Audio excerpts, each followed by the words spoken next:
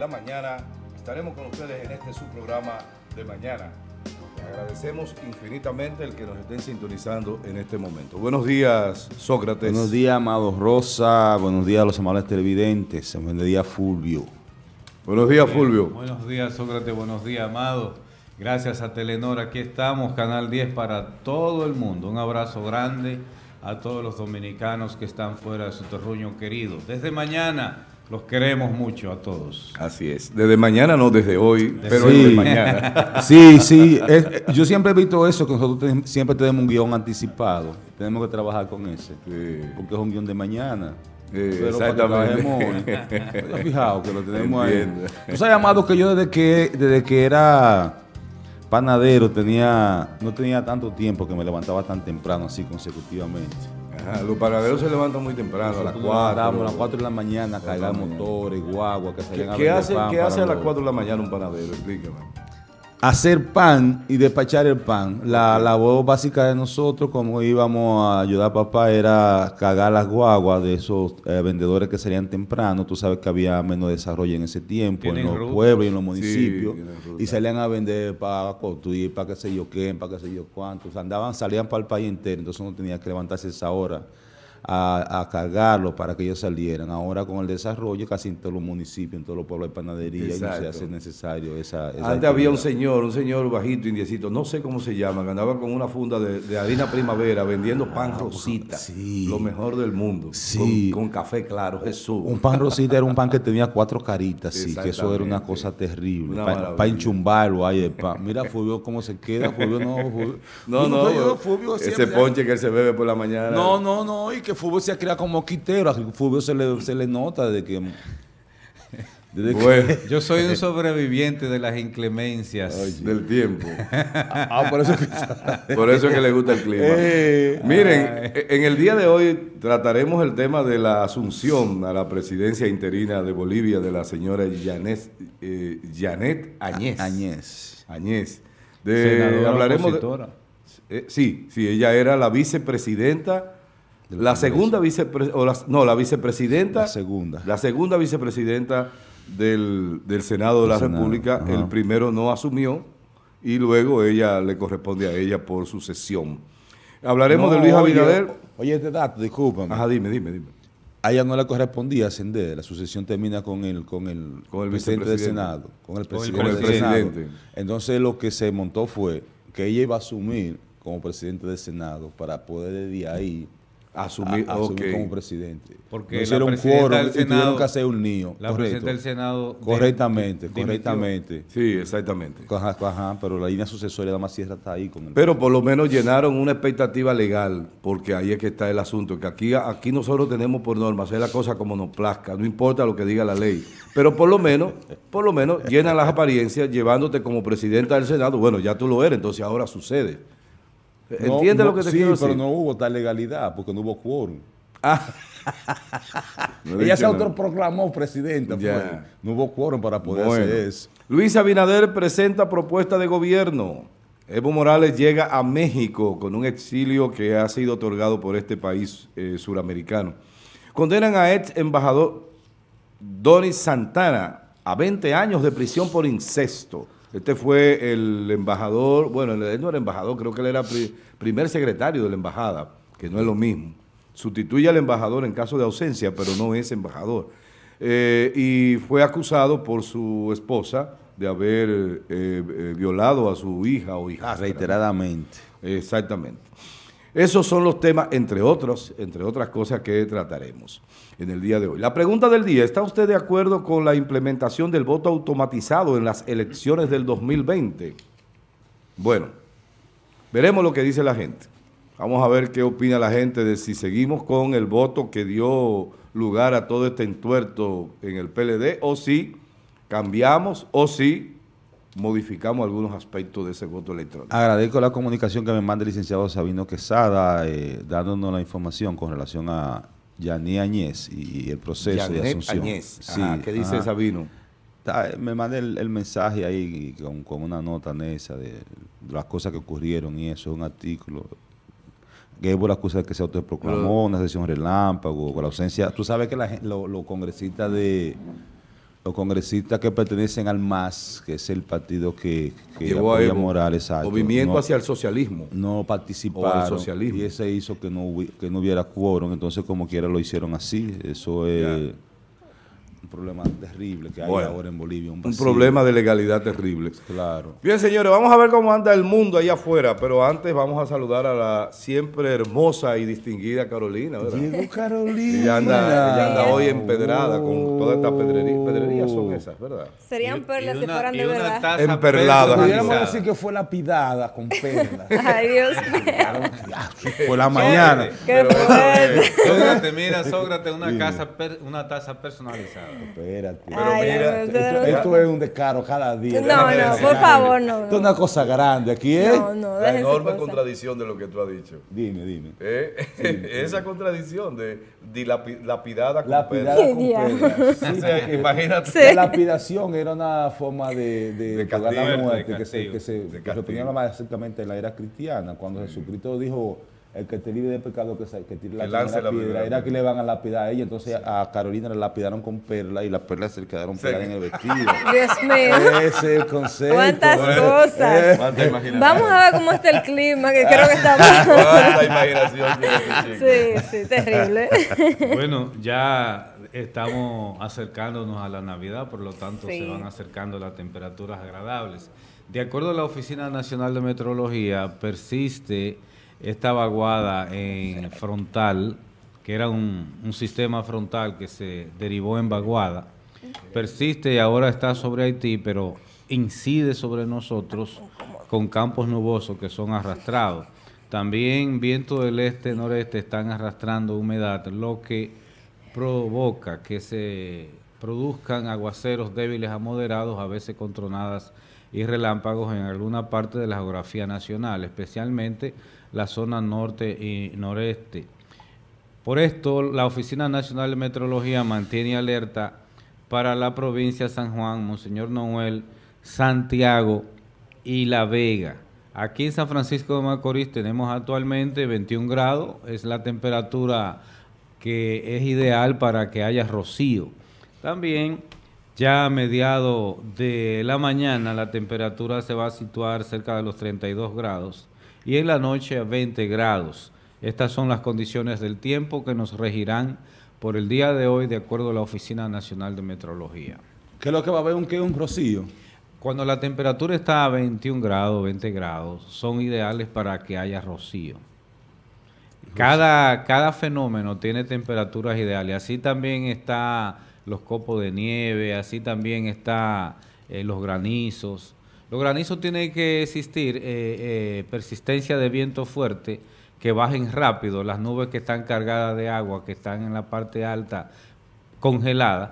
Al no dar tiempo a descongelarse en el sí, trayecto, en el trayecto. cae en lo que debió haber de pasado en la. Antártida y no pasó. Sí, Sí, porque ahí es. como que se... que Pero se- tenemos se unas fueron. condiciones agradables, generalmente estables, en toda la geografía nacional. Eh, Bueno, No, Sí. adelante. Te estaba diciendo que te iba a comentar que eh, la situación tenemos, eh, tal como habla aquí, una situación candente porque eh, se hizo la reunión, una, una sesión ayer de la Junta con los partidos políticos para presentar a la compañía que ya aquí cuestionamos la, la idoneidad de ellos y se está argumentando que esa franquicia, porque opera como franquicia, que se contrató en Costa Rica, supuestamente no tiene vinculación con las otras y, y entonces la gente que apoyan a, a la fuerza del pueblo eh, dijeron que no, que no aceptan esa, esa firma para que audite los equipos que van a participar en la próxima contienda electoral.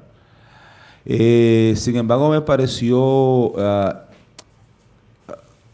excelente desde el punto de vista político y estratégico lo que planteó el, el PRM. El PRM apoya la, a la firma, pero pide adicionalmente que sean auditados el 30% de los ah, boletines que fueron emitidos en las elecciones primarias. En los recintos específicos. cerraron después de las 6 de la tarde. Sí, Sí. sí, Eso me parece, o sea, claro. porque hay un, hay un doble juego político ahí. O le quito el discurso a Lionel, metiéndose a la auditoría de la firma, ellos saben ya que si ellos van a hacer su auditoría es porque no van a encontrar nada. Y me vendo como que yo no soy un carrito chocón, porque el problema es que en estas condiciones que nos estamos presentando, aparentemente la fuerza del pueblo va camino a convertirse en un carro chocón con relación a todas las decisiones que se tomen. Así aunque tengas razón, porque una de las cosas de tú llevar siempre la contraria es que aunque tú tengas razón, termina ante la opinión pública eh, con una percepción de que, ah, no, pues a este no le gusta nada, este no quiere nada. Tú me copias, o sea, políticamente se crea ese efecto. En, en ese sentido, a propósito de que me, me toca tratar eh, de inicio el tema, eso es lo que en, al final de las posiciones que asumía Leonel Fernández y, y su bando, o su equipo, la gente cercana a él, No le diga bando su partido. Carolina, tú ayer le dijiste bando. no, pero que tiene malo. Eso es la influencia de Fran. Eso- Eso es lo que, eso es lo que se debate. Pero al final, al, al final, esto era lo que se estaba percibiendo o lo que podíamos eh, sentir, o la gente más bien, cuando Leonel Fernández y todo su equipo fijaban diferentes posiciones a las diferentes eh, iniciativas o respuestas sí. que, que daba la Junta ante las solicitudes o peticiones que hacía. Escuchábamos a la gente y nosotros lo decíamos acá, bueno, van a ver a Leonel Fernández que con nada va a estar satisfecho y va a quedar así como el término que usa como un carrito chocón que no, nadie estaría, que nunca van a estar de acuerdo con todo lo que haga la Junta, aún teniendo razón. Eso es ciertísimo. Ahora bien, eh, la posición que ha fijado el PRM en el día de ayer, no sé si está eh, del todo correcto, si es la decisión más eh, idónea de asumir, de dar por hecho de que sí, que se utilicen eh, estos equipos automatizados. Es la más correcta y la más Y- idónea porque ese partido mayoritario y no le conviene crear dificultades en este momento. Entonces pasa como un partido que ya tiene vocación de poder, que tiene madurez, que acepta la- el asunto de los cambios, o sea, es una posición política pensada. Ahí entonces entra la parte del 30%, que ahí es donde hago la pregunta, la interrogante de qué, de qué tan bien está, de que ellos decir, bueno, eh, nosotros aceptamos, pero queremos que se contabilice un 30% de los votos, o simplemente Una- haber dicho... Es eh, como una muestra que pudiera representar el universo. Esa la, pienso que por ahí es que anda. No, y, a- y que además eh, toca el punto medular de lo que se argumentó como, como fraude, que es que después de las seis de la tarde ese tipo Sí. de votación fue lo que produjo el cambio, eh, donde, porque se introdujo el, el logaritmo, que ahí fue que comenzó a, A variar la el tendencia. algoritmo, que ahí fue que comenzó La- la- la pregunta el algoritmo, es- exacto. Se refiere básicamente a las primarias, Sí, no sí. el 30% de las elecciones venideras. No, no, De no, no, no, de la ¿Y pasada. qué, qué sentido tiene? Ahora que lo. que No, no, lo la veo. posición del PRM es para las elecciones que vienen.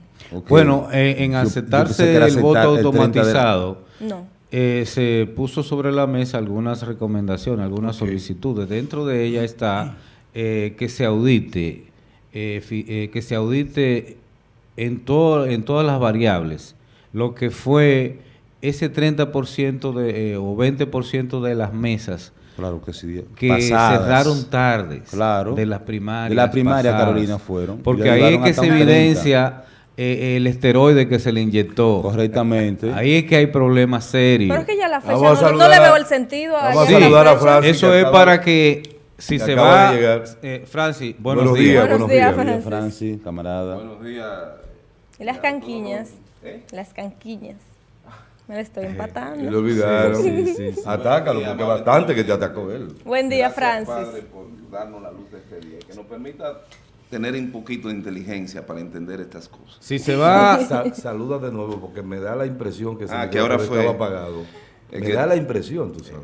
Ya llanta ya.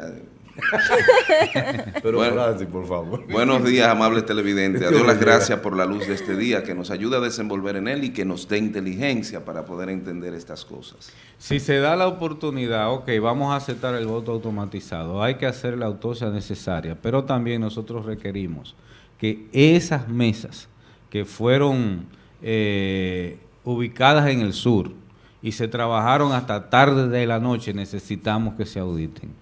Ya. Pero no estarían viciados ya esos votos, No, no, o sea, no, no, no. Hay ha, que- hay ha que pasado ver un tiempo todo considerable. Sí, yo pienso que sí, que pueden estar viciados, pero políticamente al PRM le conviene. fijar una posición. por Claro, que se fijó. no, no solamente fijar una posición, porque con ese discurso, si se hace la auditoría y que le va a dar la razón al gobierno, entonces van a minimizar a Leonel Fernández. Y de cara a la contienda como segunda fuerza de entre ellos dos, eh, Luis Abinader queda en una mejor posición con relación a él. O sea, Una posición de poder. ah, claro, eh, eh, políticamente está bien pensado. Miren, eh, yo creo que como estrategia política, está claro. correcto. Eh, Mira una cosa. Lo, el ingrediente más perjudicial ha sido la sin razón de muchas decisiones de la propia Junta, que es la que debe de presentar las mejores muestras de transparencias. Y en el accionar ha ido frente al país menguando no solamente la figura seria de Castaño Guzmán, sino que en sus actitudes ha reflejado una cierta inclinación a no complacer una facción del aspecto del espectro político nacional que le fue solicitando paso a paso que fueran cumpliendo su propio reglamento votado por la Junta, no por los partidos. Es que cuando se plantea en febrero cómo iba a ser el proceso desde esa fecha al momento del 6 de octubre, ellos incumplieron todos y cada uno de los proyectos que le presentaron a los partidos, como era que para hacer la prueba, que estos equipos iban a hacer una prueba, no iban a ser los equipos per se del uso, sino que era una prueba. Y esa prueba tenía una fase de auditoría al software, al- a las máquinas, y eso no se hizo, Carolina. Entonces, es prudente que no sea en principio el 20%, el 10% fue que propuso. El El 30. No, no, el, el- la Junta era un 10% Era un 5.6% y se llevó a un 30%. de, que iban a, a a- a- a auditar. Y el PRM le hace la sugerencia que en vez de eso sea un 30 y que dentro de ese 30 estén las máquinas utilizadas a partir de la hora en que empezó a partir de dar, a dar unos cambios que todavía, y es evidente que hubo una manipulación. Ahora, la forma en que se ha contratado esta empresa, el historial de la propia empresa con vínculo con el Estado en otras eh, acciones muy cuestionadas como es Punta Catalina, anoche, pensando yo esto, digo, bueno, ya yo sé cómo es que se genera en estos tiempos de política que una entidad haya hecho lo que le haya pedido una comunidad, me voy a referir a Edenorte, que puso 24 horas. Ya yo sé que las 24 horas que le pusieron a Nos los- la quitaron a nosotros. Nos la quitaron a nosotros. Francis, mira, eh, ante Es todo esto me maneja. adhiero a, a tu comentario, porque entiendo que eh, puede ser muy estrategia de parte del PRM y que le sume esto al final, el hecho de quitarle fuerza, fuerza a Leonel Fernández y de alguna forma sacarlo del debate ya como cuando, Bueno, no. cuando, cuando como, como partido mayoritario acepta y llega a un acuerdo con la Junta, el discurso de de Leonel se cae mucho, muy diferente a que se estuvieran unificados el partido de oposición mayoritaria, eh, la Fuerza del Pueblo y todos los partidos pequeños y, y sectores de la sociedad. cierta forma están unificados en el criterio, porque la- los partidos lo hicieron previo ayer Pero también. o sea, Leonel está de- radicalmente eh, No, cerrado al sol- tema. Solamente se, Es una propuesta. Solamente se ausentaron de la, de la sala la gente que apoya la fuerza del pueblo. Los otros partidos se mantienen apoyando la decisión de Pero Leonel, de entonces la fuerza del pueblo se queda solo prácticamente Claro, en, en este, en esta posición, es lo que quiero decir. Con sus Ahora bien. Eh, nosotros conociendo todo lo que pasó con las primarias, la cuestionada compañía, eh, eh, eh, Deloitte que se llama, y todo lo que hemos podido leer relacionado a ella, independientemente de estos planteamientos, de, de ese conteo, de esa investigación, ya después de tanto tiempo, no sé si tenga realmente el valor eh, que se busca en una investigación o la importancia que tiene el hecho de, establecer eh, respuestas o evidencias claras de eso que se está investigando. Me parece que no. Ahora bien, si el PRM entiende y todos los partidos que aliados a ellos eh, han fijado esta posición de apoyo y de que se investigue para que sí sean utilizados ya de manera eh, vamos a decir, sin sosiego, de que se entienda que habrá transparencia para ahora, para febrero y para mayo, me parece que si el PRM está eh, asumiendo esta posición, entonces de alguna forma, al menos los que piensan como yo, de que entiendo que ese sistema automatizado no es del todo transparente y que no lo sería, el PRM ha asumido, bueno, nosotros para mayo... Claro, son transparentes, que lo manejan. Pero luego lo manejan, o sea, a eso que nos referimos, porque no es el sistema, el sistema solo no hace nada, el sistema solo no hace nada. Eso es lo mejor del mundo. Pero es lo mejor del mundo, pero es manipulable. Es manipulable. Entonces, ante todo esto, el PRM entenderá que para febrero y que para mayo en las presidenciales, que ahí es lo fuerte, tendrá, tendremos en República Dominicana y ellos como partido mayoritario unas elecciones eh, justa, transparente, eh, sin logaritmo, eh, sin, algo, eh, sin logaritmo, algoritmo, algoritmo, sin esteroides y todo lo que sucedió hace en las primarias. Es una muestra. Qué bueno que el PRM piense así, esperemos que luego no lo lamenten. Bueno, señores, nosotros seguimos con más contenido. Gracias a Carolina por su comentario y ya está con nosotros Tony García, el hombre deporte. Buenos días, Tony. Muy buenos días, Amado. Buenos días, Carolina, Fulvio. Buenos días, Tony. a mi derecha y Sócrates Mercedes. Y a todos los amigos televidentes de, mañana, la mejor propuesta matutina. Eh, las informaciones deportivas, pues recorriendo eh, desde las grandes ligas. Ayer, pues, el manager del año de la Liga Americana lo fue el capataz de la tropa de los mellizos de Minnesota, Rocco Baldelli quien ganó por un margen muy cerrado. Eh, no, no, por un margen cerrado a, Aaron Boone de los Yankees de Nueva York. Obviamente eh, iba a competir muy fuerte si estaba involucrado uno de los Yankees, porque la prensa de Nueva York es muy dura, muy influyente, y obviamente ese voto se iba a manifestar.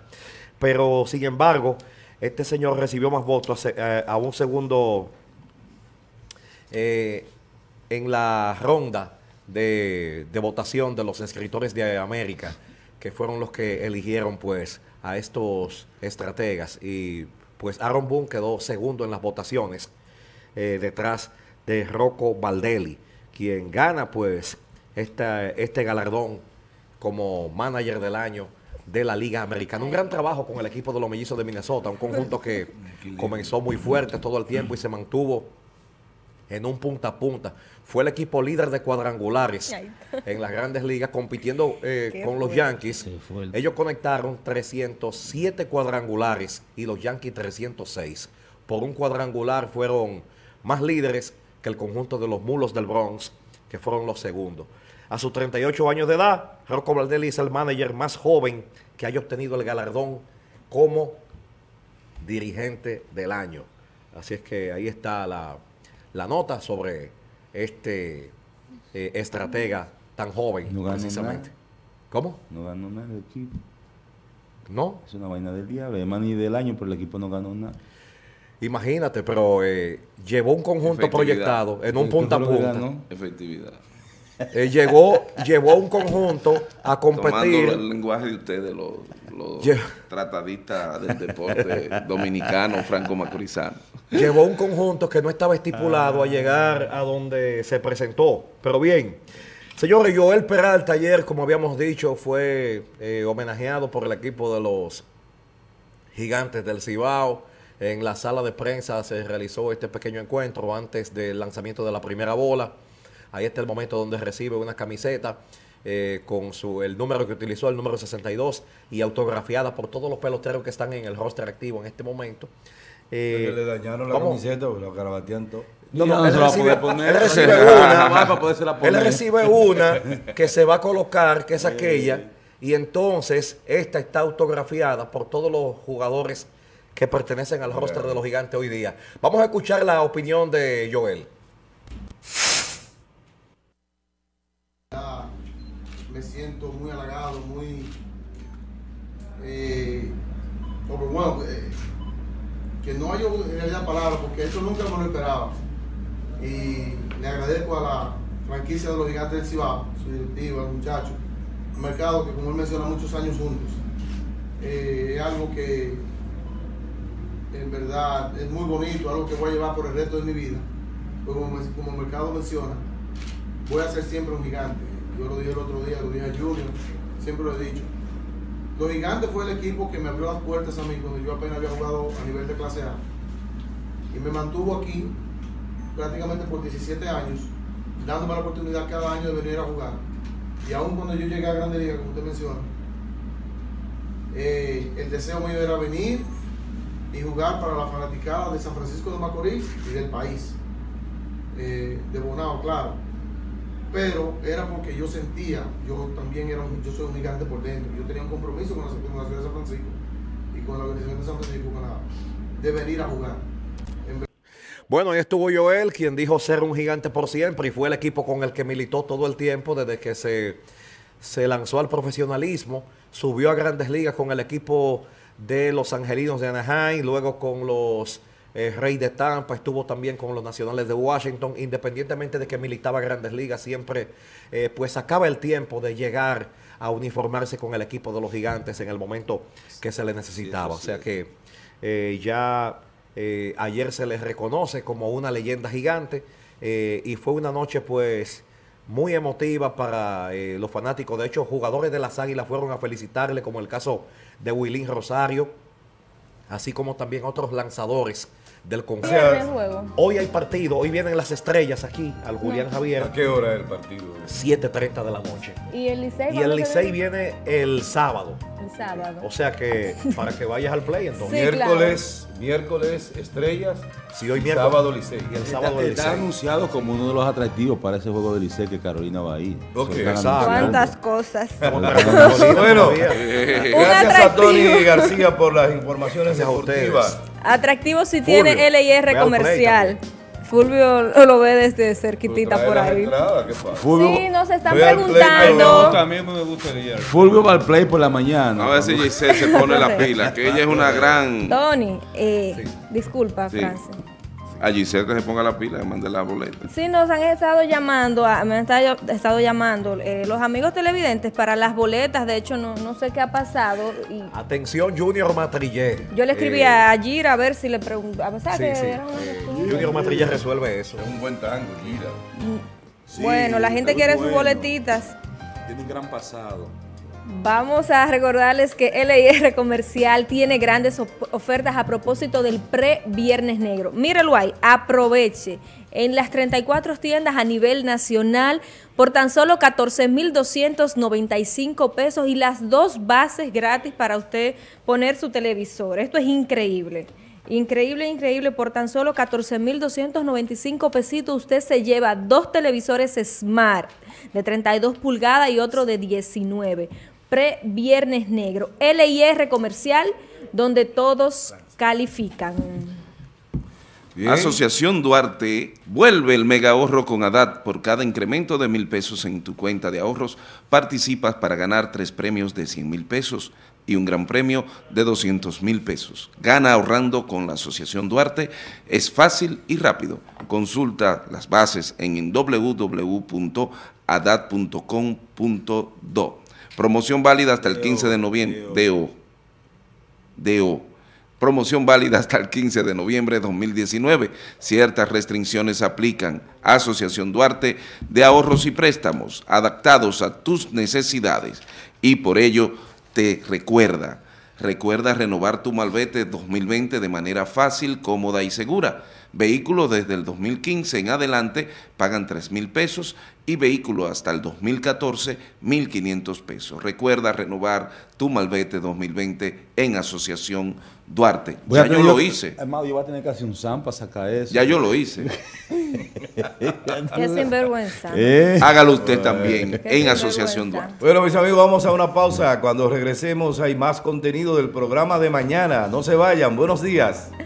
yo acepto que Carolina me haga una invitación. Yo tampoco lo he te, invito, te invito a pagarte el malvete.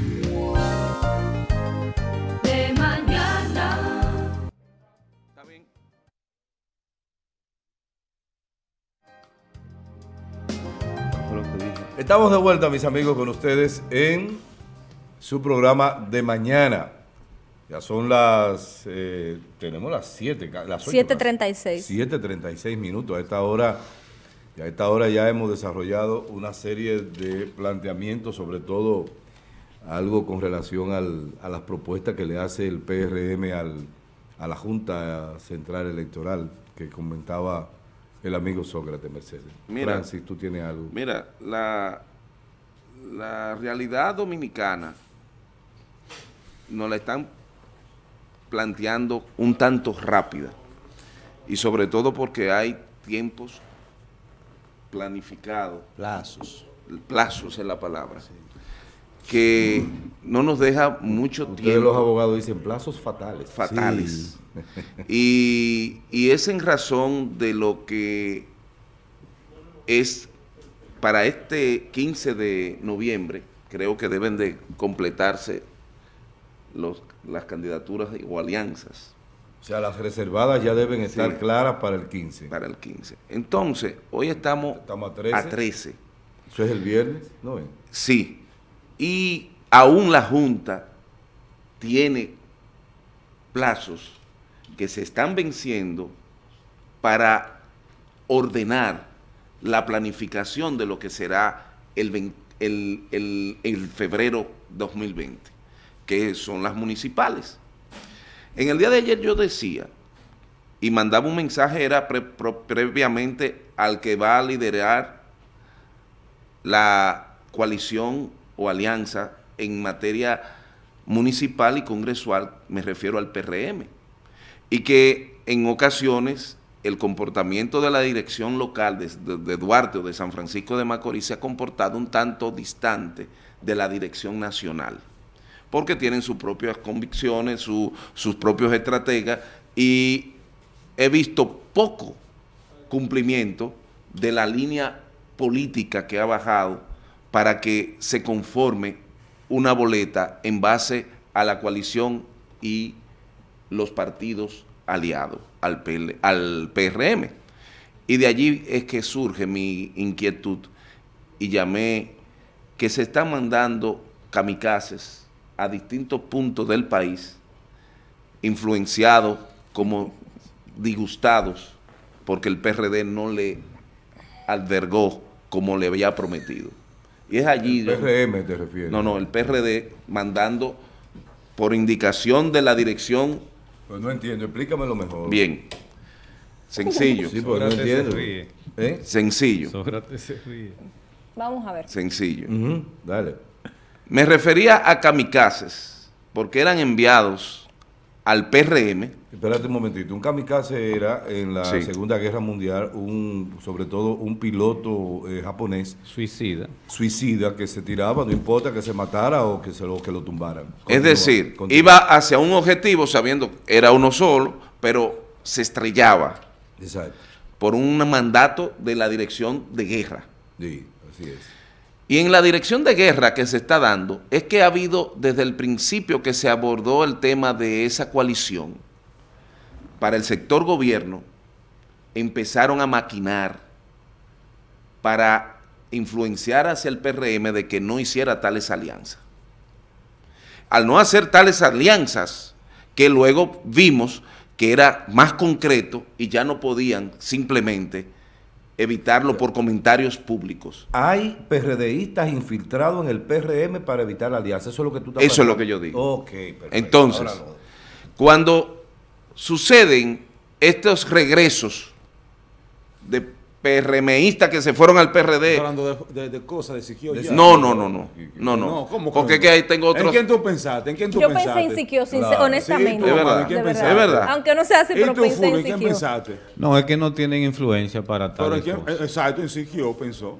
Siquio no, tiene No, pero dime influencia. cómo Esos kamikaze no tienen influencia para influenciar tanto. Esa no fue la pregunta. Tú no puedes una- negar que eres político. en una ¿En quién tú política. pensaste cuando Francia habló de lo que regresan al PRM? No, no, me puse a buscar Bueno, el último acontecimiento que fue el de me, puse, Exacto. me puse a buscar otros dirigentes, no a él. Ya, y no encontraste. Sí. No a él, no, Sí. que, que tuvieran Gracias, hermano. que, que tuvieran la fuerza de influenciar. Ahora yo te voy a decir una cosa. Que tuvieran la fuerza de influenciar. con él, o sea, Lo que ¿quién dijo Siquio aquí refuerza un tanto lo que dice Francis. Adiós. Aquí, aquí, Oye, en, otros puntos también. Hay, hay dirigentes hay, no, hay dirigentes prominentes, no voy a referirme a nombres, porque quiero ver cómo se desenvuelve el PRM en esos puntos. Pero ya oye, luego, oye, esto, lo que dijo Siquio aquí en la entrevista que le hicimos, refuerza lo que tú estás diciendo. pero claro, Porque, por ejemplo, cuando él dice, no, pero yo me, yo volví porque me ofrecieron, me ofrecieron una candidatura y lo, y hay, y yo planteé siete puntos y nada más estamos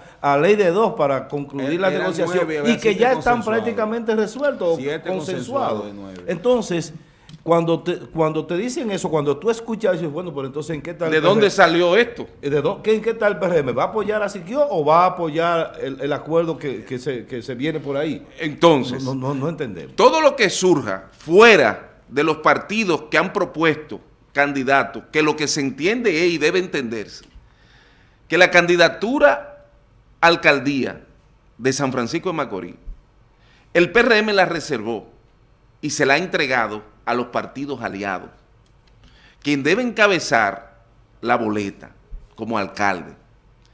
Y yo decía y preguntaba, el tema es, en este proyecto de coalición, tener específicamente a un hombre que tenga todos los votos para ganar, o es que el candidato que estamos proponiendo nos vamos a aborcar todos a votar por ese candidato para hacerlo viable. Cuidado si ha pasado que el PRM ha visto que los candidatos propuestos de la alianza no, no, no tienen los números. Pero ahí yo y ahí te- y ahí, y ahí- porque que yo te voy a decir una cosa, nadie, nadie va a presentar decir. un candidato para perder. ¿Cómo fue?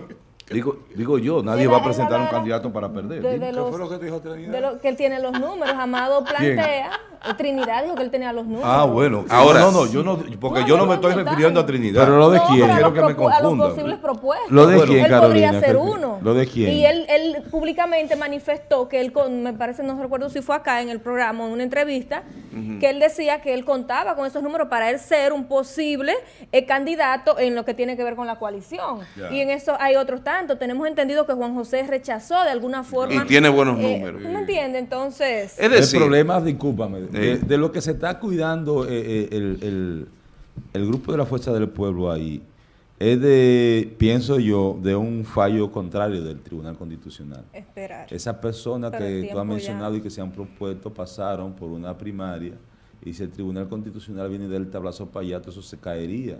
Entonces, Quedarían en una limbo. estructura montada ya con esa gente que correría la misma suerte que Leonel Fernández. Eso sería. Sí, pero hay una fatal. cosa, se le está venciendo un plazo. Dice Francis que es el, el 15. Es el 15, Fulvio. Mm. Eh, El, 17 el 18. el 18. Ah, bueno, Entonces- pero estamos hablando del lunes. Bueno. Sí, del o sea, esto está a la, a la vuelta de la esquina, Ahora bien. independientemente. entonces se dan cuenta que podría traernos con trastornos, porque esos plazos están pendientes también, como decía Sócrates, a decisiones jurisdiccionales, que era lo que decía yo en el, en el principio, que conflictos y desavenencias políticas nos han llevado a resolver los problemas de los políticos en el orden jurídico, y es que se genera un problema, tiene que hacer ahí. Claro, Ese es el, el- el punto. claro. Tiene que ser ahí. Porque las diferencias se resuelven allí. Entonces, vuelvo y repito, no sé de dónde parte la teoría de extras partidos fuera de las alianzas que se han planteado, porque eso Cuando te refieres a extra partidos, a, o sea, a te- todo el que venga fuera de lo que se han propuesto, tanto del PRM como del, de los partidos aliados que somos, somos, Juntos Podemos, la Fuerza del Pueblo y demás, y el Partido Reformista. ¿Lo Óyeme recuerdan? esto, tú que estás Sí. en la asociativa Fulvio, a los dos que están involucrados en eso. El proceso de diálogo conlleva que uno apoya a uno en la sindicatura y otro a otro en la senaduría. ¿Verdad que sí? Sí. Pero aquí en San Francisco de Macorís el asunto nada más para la sindicatura, la senaduría no está en juego. El hombre que tiene la senaduría no Es está Franklin negociado. Romero. No, esa no se negocia. No, no, no, claro. Eso está claro desde el principio. Pues entonces, Pues entonces, no es, del, dilo, no es del PRM, es que es de los partidos pero- aliados. pero dilo. la, de, la, la de abajo. Dilo para saber si por ahí es que viene el lío. Sí. Porque, ¿Por qué? el PRD pudiera Porque- proponer que le apoye a un senador también. También. Pero hay candidatos interesantes, por ejemplo el caso de Lucelene, Lucelene es una candidata formidable. Yo no, yo personalmente como amigo de Luz no quisiera verla metida en eso. Claro que no. Yo personalmente, pero ella es una Entonces, ¿qué hace el política. PRM? Pero- Sí, ella es una política de- y como política quisiera, pienso yo, no que todo no político quiere llegar a un cargo electivo importante. Esa no es negociable, entonces, la, la de la sindicatura, porque ese fue el acuerdo. Claro. ¿Verdad? Esa es la idea. Y esa debe ser la idea. Entonces, ¿qué hace el PRM San Francisco? Pues entonces no. Hurgando, no, que no puede. Eh, Siquio no sería el candidato, si fuera el caso de respetar los acuerdos. Ahora, Ahora, si se van solos, ¿Hay algún miembro, está obligado la coalición a, a respetar lo de la senaduría. ¿hay Entonces, algún miembro de- romper eso en esta etapa, para mí, es un mandato y una estrategia de lo que empezaron en el oficialismo y los partidos aliados al oficialismo para influenciar a que el PRM no concretara dichos acuerdos. Ahora, cuando tú ves a Leonel Fernández dando declaraciones y ves a Luis Abinader, ellos en la cúpula están más que claros y han dado la línea Pero, de trabajo. pero a lo mira, yo te voy a decir, ¿hay algún dirigente nacional del PRM que haya dicho que el acuerdo se rompe aquí con el No, pero se lo están... quizás nos es, es que el. PRM aquí está dando Óyeme, muestra de que está permitiendo viejo- nuevas, nuevas ofertas. El político de antes es aguajero. ¿Sabes lo que es un aguajero? Sí. verdad? Ok. Ahí está la, esa es la música, la noticia. Bueno, ¿verdad? no hay influencia tal que pueda provocar La una distorsión en las negociaciones que se están haciendo a nivel nacional. Así es. Local no la hay. Sí, Bueno, sí la hay. Te voy, a- decir por qué. Sí la hay. Te voy a decir por qué. Porque si lo que se está planteando es que tú me apoyas en la esquina A, yo te apoyo en la esquina B.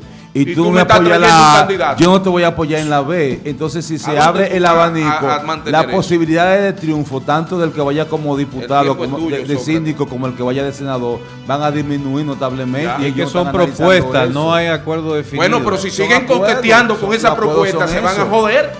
Pero Ahí se ¿dónde- escucha la música, Carolina y Francis. Se escucha la música, la música de las noticias con Vladimir Paula. Buenos días, Vladimir.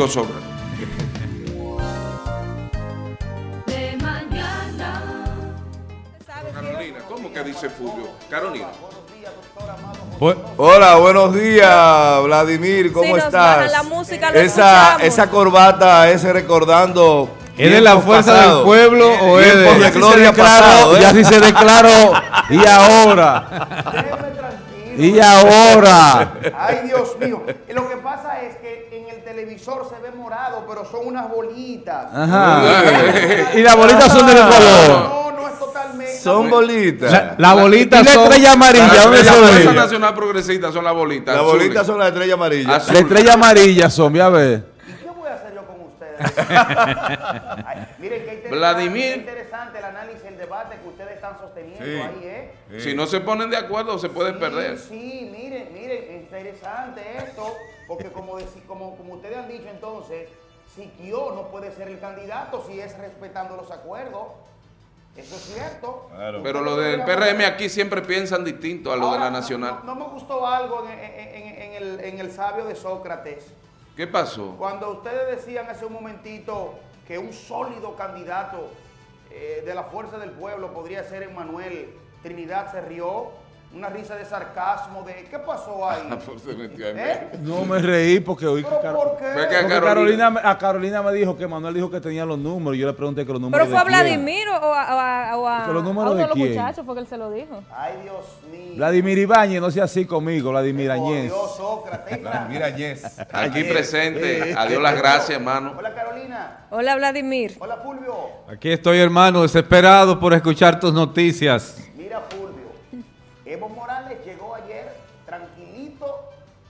Tribunal Colegiado del Distrito Nacional condenó a 20 años de prisión al ex embajador Dogny Santana por ser hallado culpable de incesto contra su hijastra de 14 años.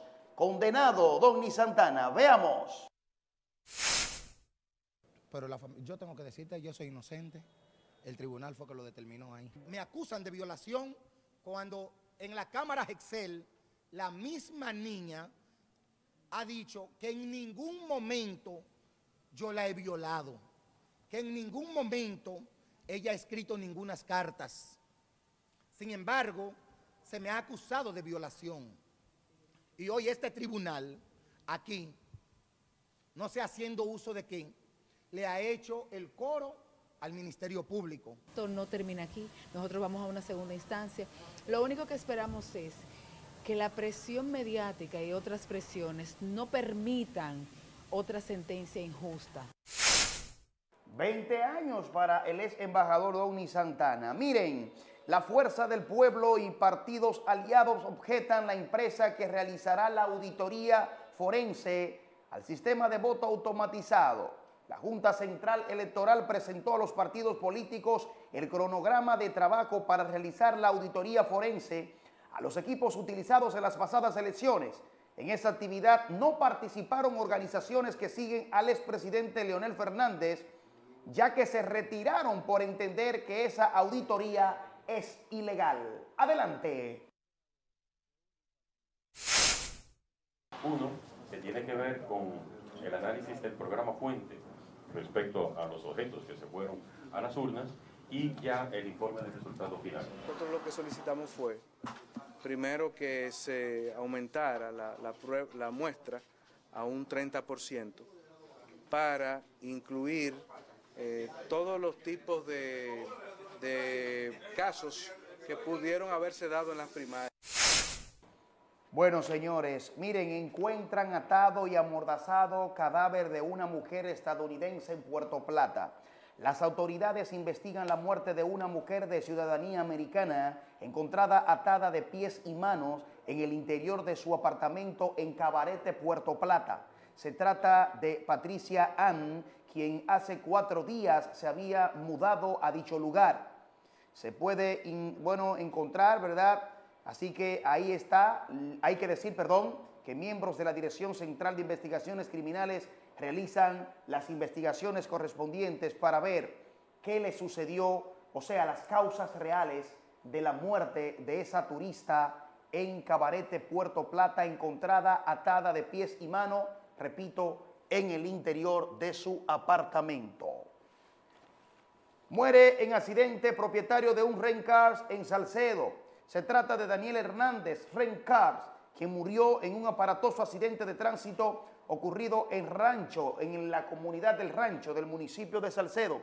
Así que lamentable esta información sobre la muerte de este propietario de este Rencar, repito, Daniel Hernández Rencar, así se le conocía por allá, murió en ese lamentable, fatal accidente de tránsito en el municipio de Salcedo. Bueno, miren señores, cámara capta hombres robando en un residencial aquí en San Francisco de Macorís. Así que las imágenes captaron el momento en el que este hombre llegó hasta una residencia ubicada en la calle 4 de la urbanización Abreu, aquí en San Francisco de Macorís, y se robó eh, varias mercancías.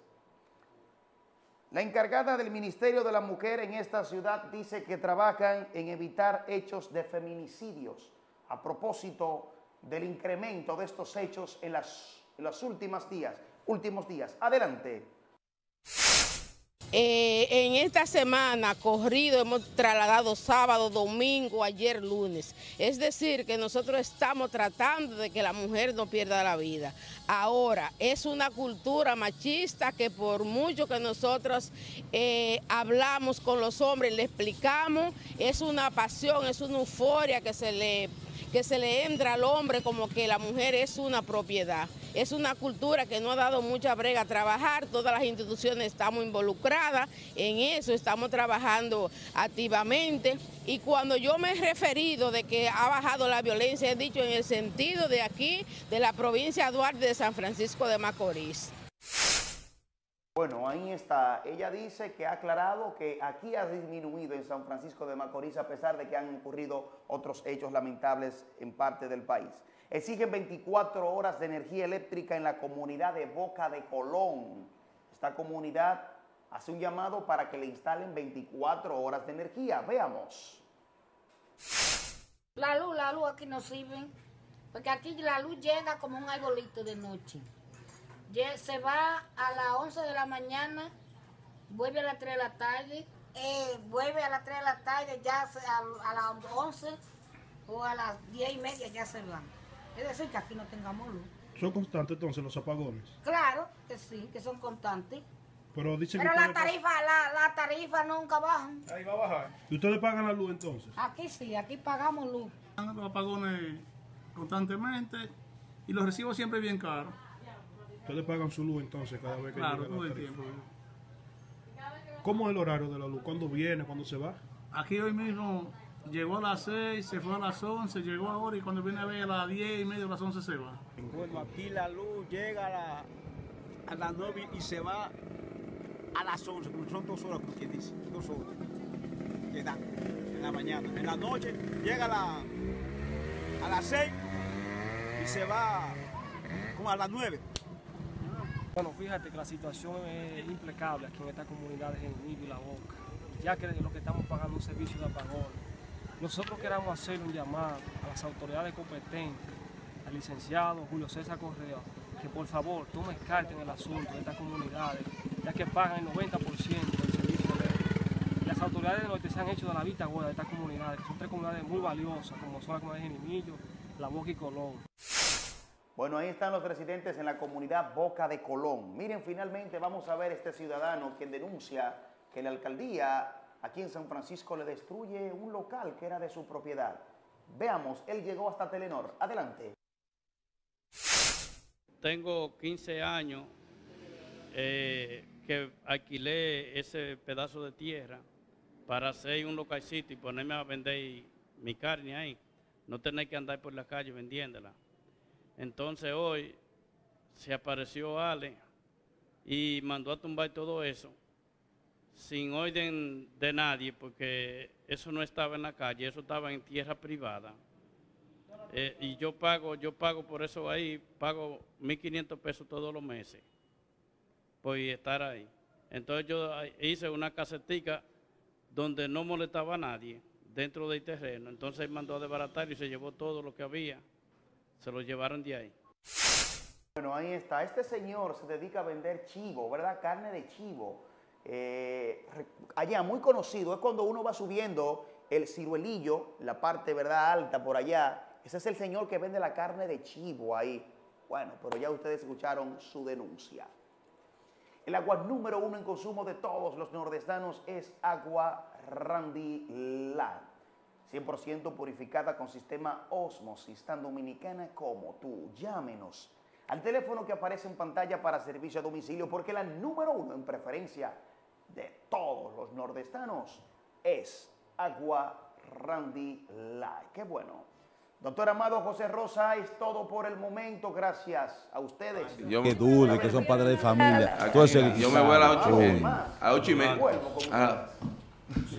Bien, mis amigos, estamos de vuelta con ustedes en su programa de mañana. Gracias a Vladimir por las informaciones. Ahora. Todo este conjunto de noticias. Eh, y aprovechamos para saludar a Yerjan, que acaba de integrarse al panel. Buenos días. Buenos días, buenos días, Amado, y a todo el equipo, la Carolina, Fulvio, Francis. Sócrates, Mercedes. Eh, Fulvio. buenos días a la gente que nos ve en todas partes del mundo. ¿Cómo no? Vamos a ver el WhatsApp. En, eh, Sí, en la senaduría le ganó a Milka en la pasada. Vamos a ver el WhatsApp. Prácticamente. De tú a tú sí.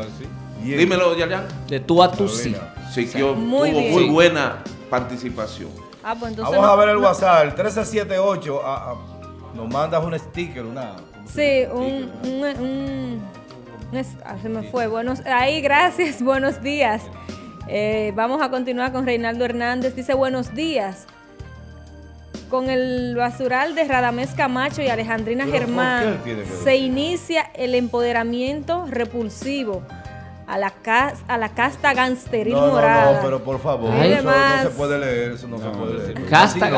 gan- gan- no. Respe- que respete. Reinaldo tiene que respetar. no es- de la No estamos en el patio de tu casa. ¿Tú no estás de acuerdo con eso? ¿Eh? ¿Tú no estas de acuerdo con No, no, eso? no, no. yo Con el lenguaje que se utiliza. Ah, ese ok. término, que se utilicen esos términos cuando tú estás en contra de un político, de quien sea. Es verdad. Tú puedes decirlo de otra manera, no tienes que decirlo. Tú, él no está en el patio de su casa hablando Aquí tenemos un mensaje de pededera de tiempo. Dice, buenos días, quiero hacer un llamado al gobernador que por favor nos meta la mano en la carretera que va del cruce de la Cueva. Cuava hasta la, hasta Sí, la la represa. represa. Que son más de No, pero hay que darle tiempo a Luis Núñez que haga copio de su cargo. No, pero Y anoche, eh, creo, a mí me abordó un ese amable televidente en un supermercado que esa, ese trayecto hacia Herrera, allá Herrera de Cuava, no le han puesto la mano. Francis, ¿y qué más tiempo que el que tuvo Juanito? Ah. Pero eso, Por es lo, Dios. eso es lo mismo. No, porque es verdad. No, No, pero pero es la verdad. nosotros ¿qué estamos dice? propinia- propiciando Ese. La comunicación de los comunitarios de Cuava para que Ese programa una- parece No, grabado, todos no, los días no, lo mismo. ¿Qué fue PRM. eso? No, no, no, Eso, no. eso lo mandaron, eso lo mandaron seguramente de Telenoticias o... ¿Cómo Aquí sí yo así? quiero poner un Ay. Ay, La viajera. ¡Está de cumpleaños, Yanel! Está de cumpleaños. Eh, está de cumpleaños. ¡Felicidades! La viajera. Mi amiga Vianel. La Felicidades viajera. para ella. Excelente bendiciones. Bendiciones. Excelente. Sí. Eh, Muchas Ya. felicidades para Vianel. Francis, van a celebrar. todo este día y toda mi vida. Y dice Yerjan, este gracias a 28 Dios por tu inteligencia y tu paciencia de poder sostener a Francia. Te pasaste. Continuamos, continuamos. Guanabealco es una, es un agua de azúcar antes de adentro. A ella todo mi amor, toda la, y, la, y los- nuestros hijos, nuestros nietos. Me fascina. Y la familia, de, la de familia. Estás madre y de, y de esa mujer abuela. que con nieto, tú estás Es. Yolanda. espectacular. No, pero que tiene nieto es Adiós las Muy gracias. linda y muy junto fácil. a ti nos dé la oportunidad de Nuestra, hasta el fin de no nuestra cambió, nuestra Israel. felicitación para ella. Israel no cambió. Yolanda de Pisa Costura nos manda esta Ajá. postal. Buenos Oh. días. Hola, ¿estás ahí? Es para darte los buenos días. Que Dios te llene de bendiciones. Amén, amén, amén. Tony, continuamos. Eh, vamos a ver, Tony, que diga también que estaba. Vamos a ver. Tony, Tony, arriba. Vamos a ver. Que diga también que estaba im- impuesto a vender carne, Carne de, de perro. perro. Wow. Ay. O sea, se refiere al señor de, de la. Con la cabeza de chivo y, Ay, lo- y los perros abajo. cuidado. Dice- No, no, dice- No, no. Ay, no, no podemos hacer No, eso. no. Ni permitir que se, que se distorsione. Eso es en Tailandia. Eh, él pertenece a una familia de hombres muy laboriosos. Es Sí, decir, no, sus también. hermanos, él, toda Sí, la vida no. han vendido frutos, eh, carne de chivo y esas cosas. Bueno. Nosotros creemos que esa parte de, de, claro. ase, de asegurar que vendía otra cosa. No, no, no. no, son, no además, no, sin asidero, ayuda, sin un fundamento. Ayuda, ni, no ayuda. Bueno, señores, vámonos a una pausa. Regresamos en breve. No se vayan, esto es de mañana. Para, la, la, la,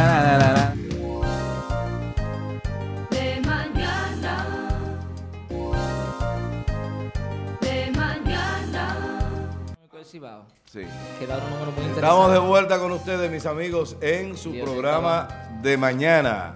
A esta hora, a esta hora vamos a conversar con el profesor Rafael Colón.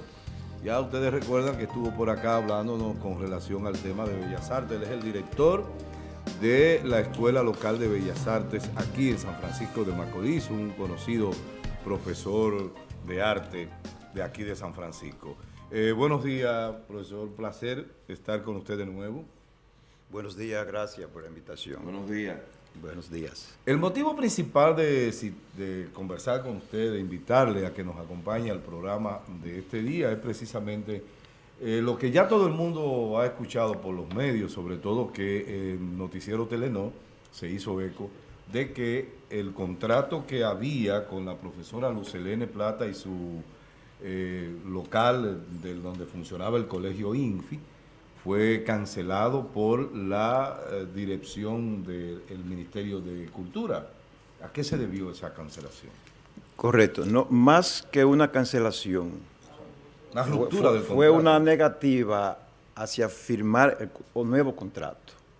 Ya. Porque había perimido, eh, es, el contrato era anual.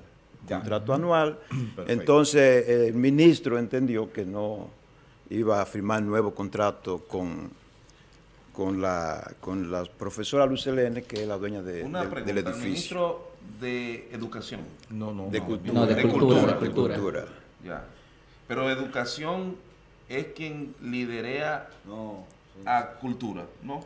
No, no, no, no, cultura es el ministerio aparte. Ya, Porque había mucha gente que estábamos confundidos. Cultura es un ministerio aparte. Sí, aparte. Entonces, la Escuela de Bellas Artes no tiene hoy local.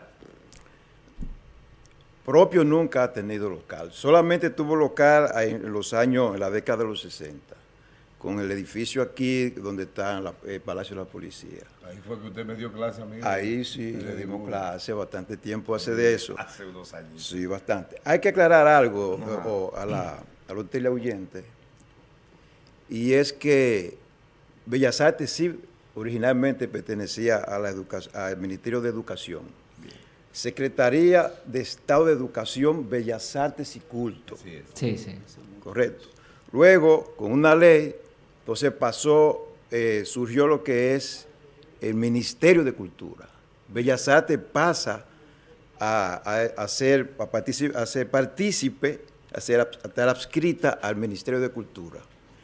Sucede que recientemente, hace poco más de seis meses, por ley, eh, fue descentralizada el eh, Bellas Artes desde el punto de vista económico, o sea que los recursos económicos ya los recibe de la Dirección General de Bellas Artes en la persona del señor Félix Germán. Que es el director, Director General de Bellas. Director General de Bellas Artes y eh, Bellas Artes, las escuelas de Bellas Artes directamente a través del CINFAE, el Sistema de Formación Artística Especializada, es que es quien dirige de manera directa a las escuelas de Bellas Artes del país, que son unos 15, 15 escuelas de Bellas Artes en el país. Eh, ¿Por qué él, él dice que el mini, bueno, salió una noticia donde plantea que eh, dos, un millón doscientos mil pesos es un monto muy oneroso para un espacio donde la Escuela de Bellas Artes solamente funciona en una tanda. O sea que de 2 a 6 de la tarde. Y el colegio funciona en la mañana, Pero ese 1.200.000 pesos anual. anual. Anual. Pero una- la pregunta es, eh, que era- creo que era por donde iba 100 Francis. mil pesos mensual. Mucho 100 mil pesos mensuales. La pregunta es, que creo que es por donde iba Francis. Al dinero, día 100 de hoy, pesos. Bellas Artes en San Francisco no tiene un local. No tiene local. Esa es la, esa es la preocupación de todo el pueblo ¿no? y de toda la ciudadanía. 100 Y, mil pesos y- y entiendo Son- que de ustedes también como... Son alrededor de dos mil dólares. Para la cultura. Son 100 mil pesos mensuales, no hay que buscarle para, dólares, 100 mil para, pesos. sí, 100 mil para, pesos. en ma- para, para la educación, por ejemplo, que tiene que ver con cultura y con arte, eh, eso no eh, eh, es in- in- insignificante. Ahora bien, con relación a la, al local, estamos No, pero, de una pero lo que me llama la atención es que, Luz, que Lucelene asume una posición política diferente a la del gobierno. Eso me preocupa. Eso Eso es lo que hay que chequear. si Eso es lo que hay que una chequear. retaliación de Puede ser, una retaliación, no, profesor. una Vamos a quitar retaliación. eso porque tú Es te te fuiste Eso es, eso es posible. Ahora, es una especulación. Sí, es una especulación. No es- eso no es valor para no hacerlo. eh, le han dicho Por la que va cultura. hacia otro lugar la escuela, no, le- han, Exacto, no le le han han asegurado informado. Es, antes de ayer nosotros recibimos unos instrumentos para eh, la Orquesta Sinfónica Juvenil, eh, valorado a unos 3 millones de pesos en el Ministerio de Cultura, que ya lo habíamos Oh. consensuado con Callito anteriormente y ahora fue que se, se le va a proveer, a facilitar a San Francisco de Macorís. Es ayer mismo en la mañana recibí una información de directa, vía telefónica, de el señor director general de Bellas Artes, en, en el que me nos estimulaba a nosotros a que iniciáramos un proceso de búsqueda de otro local. Ah, entonces sí es de Lógico, talento. de me- Ah, además de menor, claro. de menor costo, de menor valor. Ah, Parece una, acción- una, una acción de retaliación y que la van a justificar con el, con, con el valor. costo un tanto elevado de- del alquiler. Pero es evidente. Pero le dijeron, está es evidente posibilidad. que todo lo que se parezca a Fuerza del Pueblo Va o a Leonel. Lo van a, romper en cuatro y lo van a y lo van a convertir en un ingrediente. Pero, vamos a hacer Sí, una sí, cosa. Una, yo tengo una preocupación. Antes yo antes dije y hoy lo, lo sostengo que hemos hecho esfuerzo para que se nos construya un centro de la cultura. Y poco se ha reclamado para que se tenga una escuela de bellas artes que tanto se necesita para producir los artistas que van a ocupar en un, mo- en un futuro el centro de la cultura. Eso es correcto. Y no tenemos. Eso es correcto. ¿Qué usted me dice? Hace más, cerca de 50 años que la Escuela de Bellas Artes no tiene espacio, no tiene estructura propia. Pero también hace 50 años que se ha estado solicitando y hace 50 años que los gobiernos lo han estado prometiendo. El centro. 50 Es, eh, la, la Escuela de Bellas Artes y luego se pidió, eh, se pasó a lo que es el, la- el, el Centro de la Cultura, más bien que la Plaza de la Plaza Cultura. de la Cultura, que es como le llaman. Le llamaron Plaza de la Cultura y luego terminó llamándose también Centro de la Cultura, que lo necesita San Francisco. Pero hay que fortalecer la base de sustentación de ese Centro de la Cultura, que es la es Escuela de. Bellas Artes. Todo el que todo el que piensa la cultura con cierta tranquilidad y enjundia sabe que un que una plaza de la cultura no tiene sentido en San Francisco, porque aquí no hay animadores culturales, aquí no hay movimiento cultural para sostener un macro proyecto como eso. Entonces tú planteas mejor que se siga alquilando el- locales. Sí, pues yo no, yo- yo no me estoy refiriendo al alquiler del escuela. local, me estoy refiriendo al contenido de ese local. ¿Me entiende? Al contenido, a lo que se hace ahí. Aquí lo que hay que hacer es fortalecer a Bellas Artes y que cada franco macorizano salga detrás de un local para que Bellas Artes tenga un local y busquemos el mejor. ¿Verdad? Correcto. Y fortalecerlo con la finalidad de crear la plataforma necesaria para luego exigir lo macro. Lo que tú dices, Francis, tú Yo tienes estoy- totalmente la razón. Siempre se lo he dicho. Di- ¿Cuál es la preocupación suya o cuál es su visión de todo esto? Están en una especie de limbo porque están en el aire, no tienen ubicación. Mi preocupación principal es, son los estudiantes. Claro. Eh, lo que más se parece a la alimentación con respecto al pan es el pan de la enseñanza. Y cuando a ti te lo quitan de la boca, eh, la situación es crítica. ¿Cuántos estudiantes hay, eh, profesor, ahora? Actualmente eh, hay una matrícula aproximada de 200 estudiantes, pero eso ha sido producto de situaciones que se han dado en, en el interín, como por ejemplo la huelga de los profesores, que terminó el año escolar con huelga y comenzó el año escolar con huelga.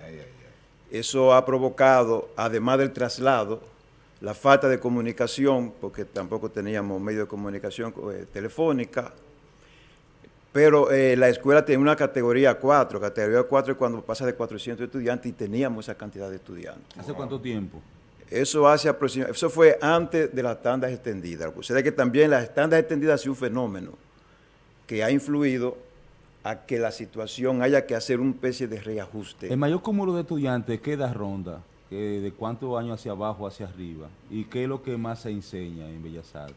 Lo- ronda en lo- entre los, años entre, 80, entre 8 a, a 14 años, 15, 16 años máximo. Y lo que se enseña allí son las tres áreas básicas del saber desde el punto de vista artístico, como son las artes plásticas, eh, música con sus instrumentos y, y teatro. Profesor, el tema de la- del arte y de la cultura, entendemos o sentimos que está un poco, Rezagado. sí, rezagado. O sea, no hay esa, o sea, no hay, los jóvenes no sienten esa conexión. Tal vez por todos esos elementos que usted ha citado acá y que nosotros conocemos, no hay un local, eh, la la- el tema de la tanda extendida, que es un fenómeno que se sumó, no han podido conectar esto con la salida de los muchachos eh, a unas horas más tarde, que ya no tienen ese tiempo tal vez para dirigirse a la escuela de Bellas Artes. Y todas esas cosas que entendemos que ha debilitado mucho lo que tiene que ver con fortalecer las bellas artes, la cultura y todo lo que ustedes pueden ofrecer y que tanto necesita la juventud y la sociedad. eh, en lo que tiene que ver con el fortalecimiento de la cultura, de aprender eh, las artes y todo lo que ofrecen. ¿Qué podría ser la punta de lanza para revivir en San Francisco de Macorís? Vamos a limitarnos para no ampliar tanto, de que haya más identificación de los muchachos, de la gente, con el tema de la cultura. Básicamente la educación, el conocimiento es lo que mueve el interés y la actitud hacia la persona. Incluso eh, eh, nosotros, eh, hasta la alimentación del ser humano puede ser dañina, pero no acude a una alimentación sana por falta de conocimiento. Si Pero, noso- ¿A qué tipo de educación nos referimos? La educación muchachos. que se Artística. recibe, ok, la educación artística es lo que puede significar la punta de lanza para hacer el lanzamiento. Yo me refiero a El conocimiento. la- la- o sea, que llegue ahí. Yo entiendo el concepto, exacto, Sí, porque... El profesor habla del conocimiento. El conocimiento. Ah, el conocimiento, Mientras no eh, haya conocimiento, porque la juventud no tiene conocimiento de la importancia que tiene el arte en sentido general, ¿Pero qué hacer para, para la educación ordinaria inclusive, porque eso alimenta lo que es la parte eh, eh, no solamente cognitiva, sino la parte eh, psicoemocional del individuo y, y, lo- y lo- y le permite un desarrollo más, más, más, más integral. ¿Qué hacer? ¿Qué hacer? ¿Qué hacer? ¿Qué hacer? Bueno, eh, eh, eh, si en- yo entiendo que y entendemos que es la educación, eh, con el asunto de la tanda eh, extendida, pues se ha creado una plataforma para iniciar todo un proceso. Yo creo que la- las artes se encaminan hacia un mejor porvenir. Lo que pasa es que estamos en cierne, estamos iniciando y todos los inicios son, complicados. Eh, Incluso profesor. choca, choca con lo que son el modo viviendo, la forma de ser del individuo vieja para introducirse a una nueva. Profesor, lo que evidencio es que ha habido un descuido total de todos los gobiernos de Bellas Artes en San Francisco de Macorís con la autorización a buscar un nuevo local. Esto implicaría que tendría atenciones reales Bellas Artes en San Francisco de Macorís que tengan las herramientas necesarias para ejercer como escuela de Bellas Artes. Correcto. Esa es la intención la- y la preocupación, según yo he percibido, de las autoridades, en este caso específicamente de la Dirección General de Bellas Artes. Porque ni siquiera a teléfono. Correcto, pero eh, todo indica a que se va, vamos a un mejor porvenir a corto plazo. Por lo menos yo tengo una conexión directa con la Dirección General de Bellas Artes y eso es lo que percibo y eso es lo que me afirman y me confirman. Mire, la, la situación que se ha presentado con el asunto del contrato y la falta de local de Bellas Artes ha provocado unas declaraciones de la profesora Lucelene Plata que yo quisiera que no la pusieran. ¿Qué les parece? Adelante. Con el perdón de su Vamos a escuchar a. Lucelene. En retorno, por favor. Esa, esa imagen. ahí. Bueno, yo, yo la valoro como la valoramos los maestros, los que amamos el arte, los que amamos la cultura. Eh, nosotros recibimos una correspondencia el viernes eh, pasado en la que dice que por disposición del señor ministro y el director de la Escuela de Bellas Artes, eh, se informa que el contrato no va a ser renovado. Ese contrato tenía un año. No fue a solicitud mía, fue a solicitud de una comisión del Ministerio de, del Ministerio de Bellas Artes, de Cultura. Y prácticamente de emergencia. Yo creo que en menos de una semana ya estaba instalada la Escuela de Bellas Artes acá porque eh, preparamos todos los espacios para que así fuera. ¿Por qué? Porque ya no había forma de iniciar el año pasado, el año escolar pasado, en la situación crítica de las instalaciones en las que estaban anteriormente. Entonces, eh, se inició, se iniciaron las clases aquí, a entera satisfacción tanto del personal docente como de los padres, como de los, usuarios que venían aquí diariamente. Pasamos un año con problemas para que se hiciera el pago, justamente de viernes a viernes. El viernes 24 de octubre, el ministerio cargó a nuestra cuenta la totalidad del año escolar. Eh, ¿Por cuáles razones no se hacían mensual los pagos? Porque había problema de que si yo iba a ser eh, suplidora del Estado, yo pensé que para un alquiler no había eso, pero son los requisitos de ahora y, y eso tomó su tiempo también para cumplirlo. Bien, esas son las declaraciones de Lucelene Plata, eh, nuestra querida amiga de maestra Lucelene. Eh, nada. Eh, preguntarle tenías maestro, una pregunta, sí. ¿Han ustedes ya ubicado algún otro local eh, para Visualizado. a Bellas Artes aquí en San Francisco de Macorís? Hace más de una semana que estamos en esos menesteres, solo que no hemos podido lograr un local mínimamente adecuado. ¿Y cuáles son más o menos Ah. las especificaciones? Quizá por aquí fuera interesante. Que sea accesible para los estudiantes. Accesible en términos de si llegar fuera- y eso, correcto, si eso. fuera excéntrico mejor, eh, un mínimo de, de 6, 7, 8 aulas, espacio, tipo cubículo para los cursos y que tenga las condiciones mínimas desde el punto de vista de lo que es, eh, o sea, la, la- Estaríamos el hablando de asunto 500 sanitario de, de- de la escuela. Estaríamos hablando, Sócrates, de 500, 600 metros de construcción, más o menos. Por eso yo pienso que lo ideal es donde está INEPRI. Por ahí, ahí. Sí, Mira, sí. nosotros- ¿Cuántos estudiantes aproximadamente tienen por aula? Escúchame, Francis. Si son 8 y hay 200, ahora mismo lo que hay son 25 estudiantes por, aula. Por aula. La, la parte, Sí. profesor, que me, me preocupa y que Fulvio me parece Es que mucho. preguntaba, Es al- es- es un espacio es importante. eh, eso que tiene que ver con eh, no solo el equipamiento propio, ya sea de una institución escolar, de bellas artes, una empresa privada, una organización sin fines de lucro, es que sentimos que Bellas Artes no ha tenido ese apoyo de fortalecerla. Nos referimos a nivel local, o sea, como una institución tan importante.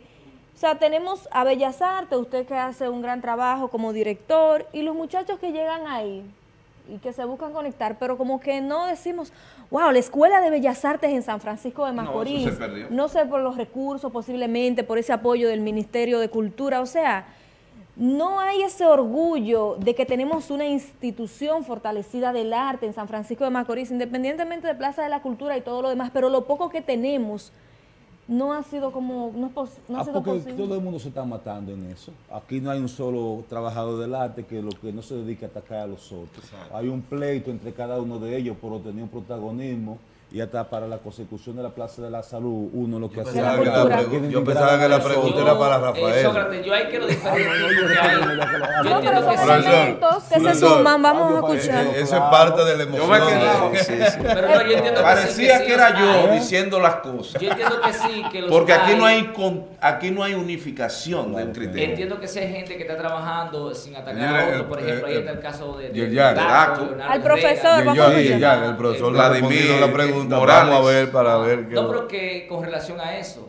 Vamos con lo que dice el Adelante. Sí, profesor. correcto. La Escuela de Bellas Artes ha pasado por situaciones muy complicadas en el, en el devenir del tiempo.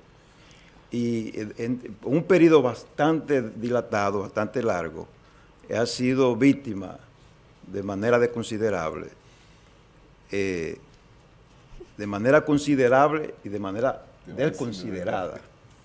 Es a través de todos los- de los medios de comunicación, especialmente de la web, de que Bellas Artes no sirve, de que se- Bellas Artes es, un eh, eh, inoperante, de que ahí no se puede dar clase, de que los estudiantes no están en condiciones mínimas, y eso, quiérase o no, eh, eh, le llega una información a los padres para no enviar a sus hijos. O sea que siempre hemos estado luchando y trabajando para con- eh, eh, crear las condiciones en la escuela para que se dé clase de manera óptima. Cuando asumimos la, la dirección de la escuela, que se nos llamó en un, en un momento para que la dirigiera desde Santo Domingo, encontramos la Escuela de Bellas Artes que para subir los escalones los niños tenían que ir por la orilla porque no servían. Eso es terrible. Es terrible. Pero luego se puso en condiciones eh, suficientes para que recibieran su educación artística. De manera que si tú reúnes, la, la comunicación tiene un, un- un efecto poderoso en el ser humano.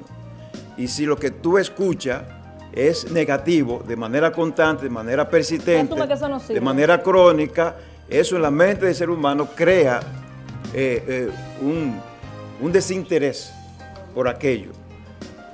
Y eso ha contribuido, lógicamente, a que no haya un depunte, ni haya un, un respeto, ni haya eh, una disposición incluso de, de las autoridades para que la escuela funcione mejor. Sin, sin embargo, sin embargo, eh, en los últimos tiempos, toda persona que adquiere un conocimiento lo que eh, necesita es insertarse en los medios de producción, haber un nicho. Ya la Escuela de Bellas Artes tiene en, en la- en el, en el Ministerio de Educación más de seis estudiantes que están trabajando en las escuelas, en, lo- en- en las escuelas públicas, Profesor. tanto del área de arte plástica, música como teatro. Mira, eh, ya para cerrar, yo quisiera que por favor entremos a WhatsApp de acá, que mandé esta foto de este jovencito Christopher, un talento, eh, un muchacho que se ha preparado, que tiene muchos años estudiando en Bellas Artes y que participó o está participando en Dominican Go Talent. O sea, y ver ese jovencito de Cruzy y del profesor... Y ver este jovencito tocando el piano, lo hermoso que lo hace, un muchacho con mucha disciplina. Eh, lo mandé a WhatsApp, la foto del joven. Una muy buena educación de hogar. Sí, todo. me gustaría que el profesor brevemente ya cerremos con esto, que es positivo y que motiva a los jóvenes a que independientemente de esa realidad que tenemos en la cultura y en Bellas Artes en San Francisco, sí se puede. Vamos, tenemos la imagen del, del joven a WhatsApp, al WhatsApp No de aquí. Llegado. Para hacer- Ah, no, mira la que tenemos. Vamos a el único abrir. joven que tenemos ahí. Sí, a- al chat de aquí. Ah, pero no, de- no del canal, del canal 10. Bueno, a la tabla, pues la podemos. La vamos Bueno. a poner en un ratito, Vamos, pero eh, en, brevemente, en relación a este jovencito y como motivación, podríamos cerrar la entrevista. Hay una distancia abismal entre lo que es la estructura de la Escuela de Bellas Artes y la capacidad y la formación de los profesores y de los estudiantes cuando salen de la escuela.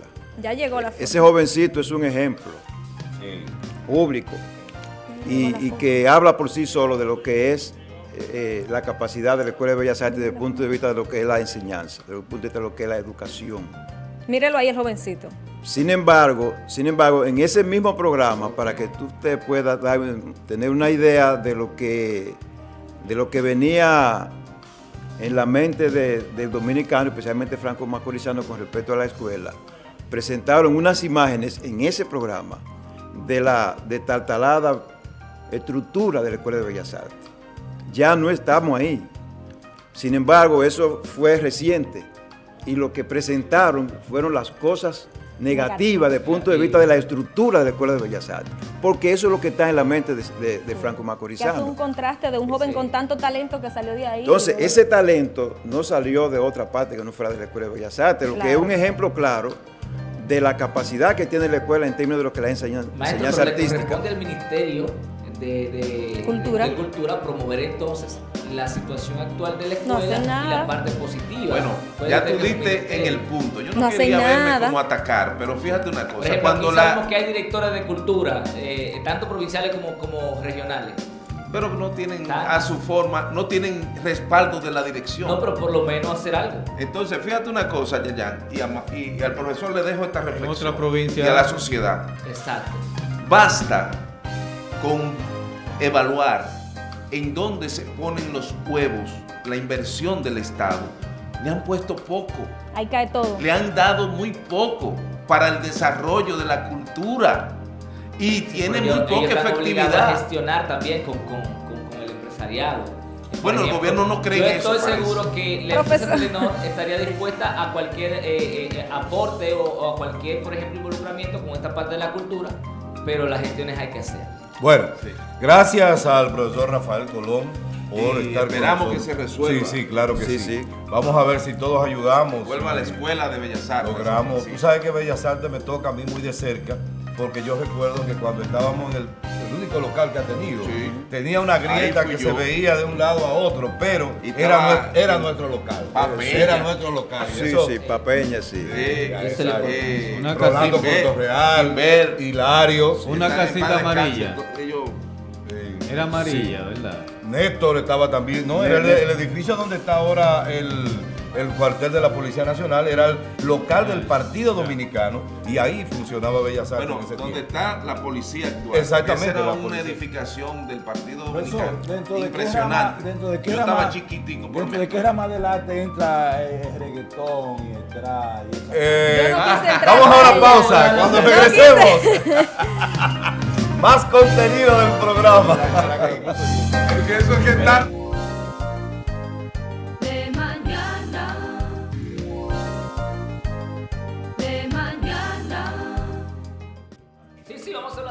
Estamos de vuelta el con ustedes, mis amigos. Aquí en De Mañana. Producción eh, propone que cambiemos el tema central, que lo hagamos ahora.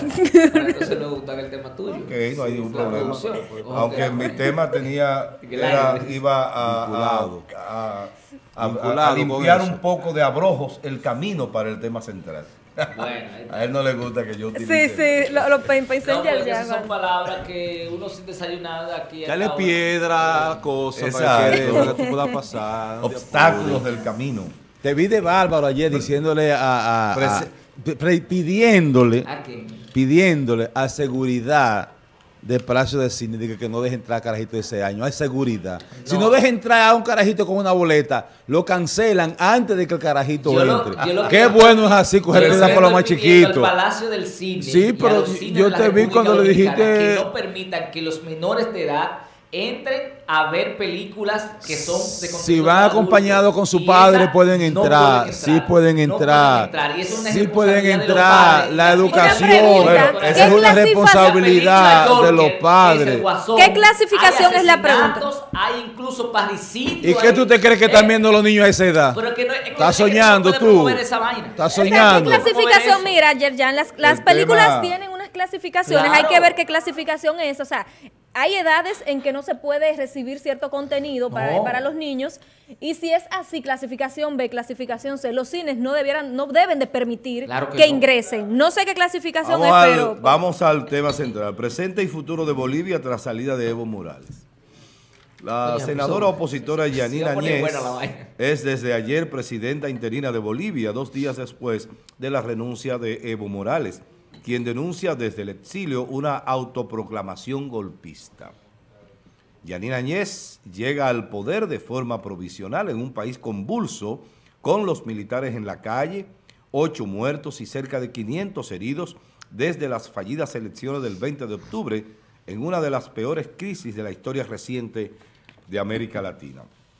América Latina ha pasado por una serie de etapas convulsas, una serie de etapas que desde finales, mediados del siglo XIX, que comenzaron las revoluciones, que se desarrollaron eh, acontecimientos que dieron lugar a, héroes y villanos en Latinoamérica, que han dado lugar posteriormente a, algunos gobiernos democráticos y muchas dictaduras.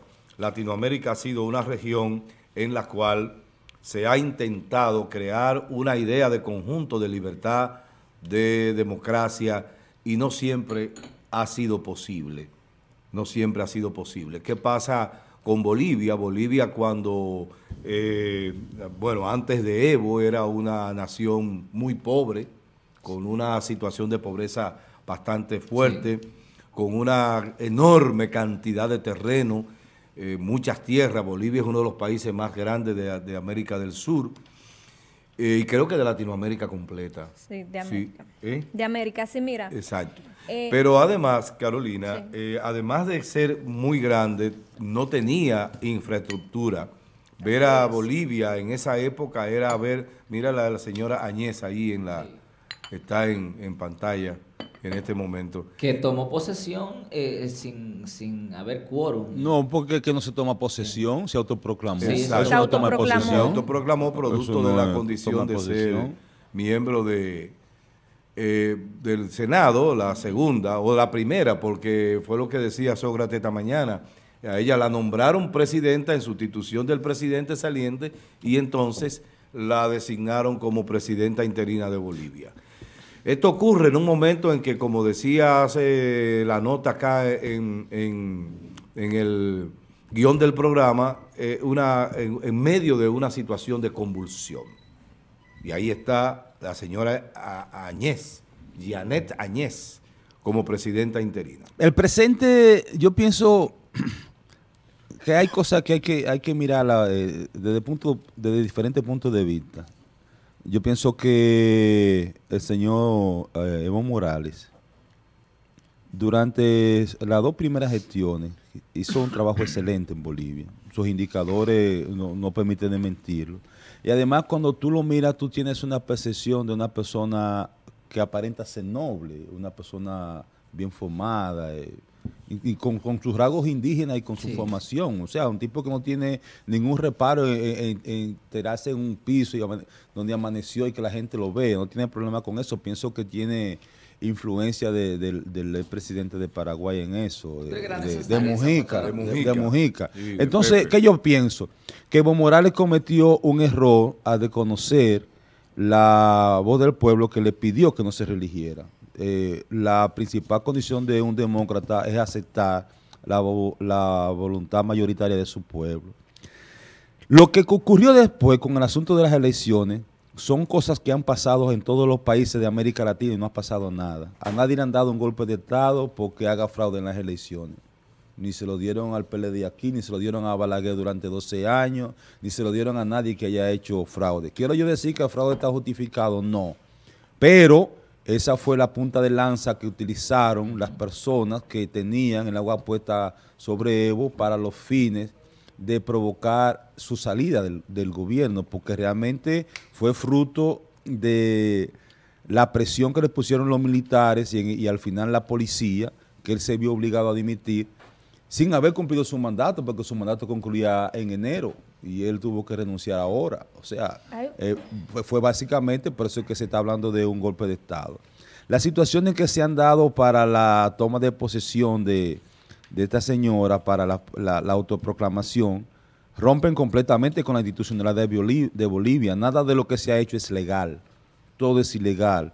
El, el- el que se le quiso dar aparente de legalidad nom- nombrándola ya presidente del Senado, pero eso fue en una asamblea que no tenía el quórum reglamentario y esta señora podríamos decir hoy que es una presidenta de facto. Otra situación que quiero tocar, eh, que me llama la atención, es que yo pienso que hay, dentro de la sumisión que tiene Latinoamérica por los Estados Unidos, yo a veces vi- visualizo cierta estupidez que me llena como de, de ira. ¿Cómo es posible que un país como México, que está contribuyendo a que se resuelva una crisis, porque el hecho de que usted le dé asilo político a un presidente que está envuelto en medio de una crisis, usted está buscando una solución. Y todos estos gobiernos ah, que no son capaces de ponerse de pie, que siempre viven besando la bota de Estados. Unidos, le pusieran que- traba para que que ese tipo Perú pudiera... y Ecuador, eso no son cosas que son, dan vergüenza, como Eso los no presidentes agarran a sus ciudadanos y los ponen a pasar vergüenza, porque después ni siquiera por Perú pudo pasar. Ecuador con Lenín Moreno, heredero de, de- de Correa. eso le o sea, malo. esas son cosas de loco. Tú Pero dices, esos pero- países son signatarios de, de los acuerdos internacionales. Correctamente. Entonces, yo, yo no ¿Y entiendo. qué de malo tenía que pasar a un avión por No, el pero espacio? que de ellos, ellos están tú, obligados a eso. dime tú, o sea, de- yo el no entendí esa acción. Es una acción absurda. O sea, es algo ridículo y, Y es... con un país hermano. Correctamente. y con- Ahora, y solucionando una. Estamos una haciendo, serie- estamos una- haciendo intentos con el perdón, eh, con el perdón Fulvio. Estamos haciendo intentos desde ayer de localizar a la señora Janine Añez, es amiga de un amigo mío que es boliviano. Lamentablemente no hemos podido contactarla por todo lo que está pasando, pero vamos a hacer contacto en unos minutos, en unos 10 o 15 minutos, con Iván Montellano Roldán, que es un ex procurador general ad- adjunto del Procurador General de la República en Bolivia, eh, y que eh, está dispuesto a conversar con nosotros aquí en el programa acerca de la visión que tiene él de lo que está aconteciendo en Bolivia. Así que no se pierda en, Sí. unos, en unos momentos eh, esta llamada telefónica porque la verdad que apunta a ser interesante. Continúa. Ha- Hay una serie de intereses económicos y políticos que se dan en Bolivia. Una riqueza enorme en gas natural Sí. que sirve incluso para tener gasoductos eh, en los países vecinos y también de minerales como el cobre y tierras raras indispensables para la nueva tecnología. Yo lamentablemente tengo un pensamiento pesimista con relación al futuro de Bolivia por estos intereses. Aquí va a ir eh, la ambición, la, la economía salvaje, aquí va a ir eh, el estilo del ganar-ganar y va indiscutiblemente a usar los recursos de Bolivia a su favor. No va a haber una redistribución de esos ingresos en el pueblo. Le esperan años fuertes a Bolivia. Inclusive, puedo decir que tendríamos una Bolivia en, en pocos años aclamando a que Evo Morales vuelva. Me sumo totalmente a Porque esos primeros ocho años de Evo Morales fueron magníficos en materia de inclusión de la población y de redistribución de los ingresos de Bolivia y participación de los diferentes sectores. Señores, hizo una magia. El poder unir más de 21 etnias Sí. indígenas bajo acuerdos, bajo participación en el gobierno y darle a esos estados, a esos departamentos, como ellos le llaman, participación del gobierno central, que no se la daban, estaban segregados, más del 80% de la población sumida en la pobreza, con una riqueza que era toda sangrada por un grupo. Y nuevamente eso es lo que va a volver. Esos son los intereses que están detrás de esto. Mira, como decía Amado, en relación a los niveles de pobreza que tenía este país, eh, pasar de ser uno de los países más pobres de América a sacar de la pobreza a miles y miles de eh, bolivianos, hablar de poner a Bolivia en la era satelital, hablar de eso que tú eh, mencionas, de estos niveles de, de igualdad ante los indígenas que de alguna forma eran mantenidos afuera de todo lo que tenía que ver con esos beneficios de gobierno, institucionalizar muchos aspectos y darle eh, esto que tiene que ver con el derecho a los indígenas, a las mujeres, más del 68% de los cargos desempeñados son eh, mujeres. Otro de los aspectos eh, que tiene que ver con el analfabetismo, lo erradicó casi en la totalidad. Estamos hablando de culturas que, o sea, que no son tan civilizados como normalmente somos por acá y sacarlos y ponerlos en ese nivel. milenarias. Milenarias es el término, gracias Fulvio. Otro de los aspectos, el salario mínimo lo aumentó a un mil por ciento. Otro de los aspectos que podemos citar La salud. la salud, la pensión. O sea, fueron Mire. demasiadas medidas y cierro eh, con otro de los aportes. Es eh, en Bolivia habían ocho bases militares estadounidenses. La sacó, sacó la DEA, sacó la CIA de allá. Y que esto lo hiciera un indígena, no capitalista. Nacionalizó mucha, mucha Na- empresa. Oigan todo lo que, lo que el listado de las cosas que se le atribuyen a los gobiernos de Evo. Bolivia pasó de ser el país más pobre de América a ser el país con el mayor crecimiento de América. Bolivia incrementó su Producto Interno Bruto en un 400%. Se eliminaron las ocho bases militares que Estados Unidos tenía en Bolivia, por Sí. lo que sacó de su nación la DEA y a la CIA. Se nacionalizó el gas y el agua. Esta se estableció como derecho humano, ya que la habían privatizado. La recuperación del gas para ponerlo al servicio del pueblo de Bolivia permitió el desarrollo de esa nación. Se hicieron 12 fábricas de litio, 3 fábricas de cemento, 2 fábricas de automo- automotrices, 28 fábricas de textiles y se crearon 12.694 cooperativas. Se terminó la, la discriminación para con el sector mayoritario de la población, que es el indígena, por lo que Bolivia se convirtió en la República Plurinacional de Bolivia, es decir, se reconoce la autodeterminación. La mitad de los cargos públicos son ocupados por mujeres. El salario mínimo aumentó en un mil por ciento. Bolivia, Bolivia lanzó su primer satélite denominado Tupac Catarí. El gobierno de Bolivia ejerció el poder junto con los movimientos sociales. Fue un gobierno promotor de la cultura y el respeto al medio ambiente. Se creó la pensión para los adultos mayores a partir de los 65 años y se estableció un bono para todos los estudiantes de Bolivia. El analfabetismo pasó de 22,7% a 2,3%. Se hicieron más de 25 mil kilómetros de carretera, se construyeron 134 hospitales, se construyeron 7.191 centros deportivos, se construyeron 1.100 escuelas. Se creó una nueva constitución que le dio derecho a los trabajadores, a los campesinos, a los estudiantes, a las mujeres y a los indígenas. Con Así relación es. al gobierno de, eh, o a los gobiernos de Evo Morales, yo quiero, guardando la distancia, hacer una comparación, si se quiere, con el gobierno de siete meses que llevó a cabo en la República Dominicana el profesor eh, Juan Bosch, eh, que fue un gobierno que estaba del lado de los pobres. Y eso precisamente no le gustó no le gustó a, a un grupo de conservadores que dirigían y que han dirigido este país eh, eh, todo el tiempo y, que lo, y, lo, y lo que provocó precisamente que este gobierno fuera derrocado. Fíjate, por ejemplo, cómo... Sí, pero la razón por la que Evo sale del poder, Sí. producto de esta situación, y la que salió Juan Bosch, hay una diferencia. Claro, eh, eh, eh, y para allá voy.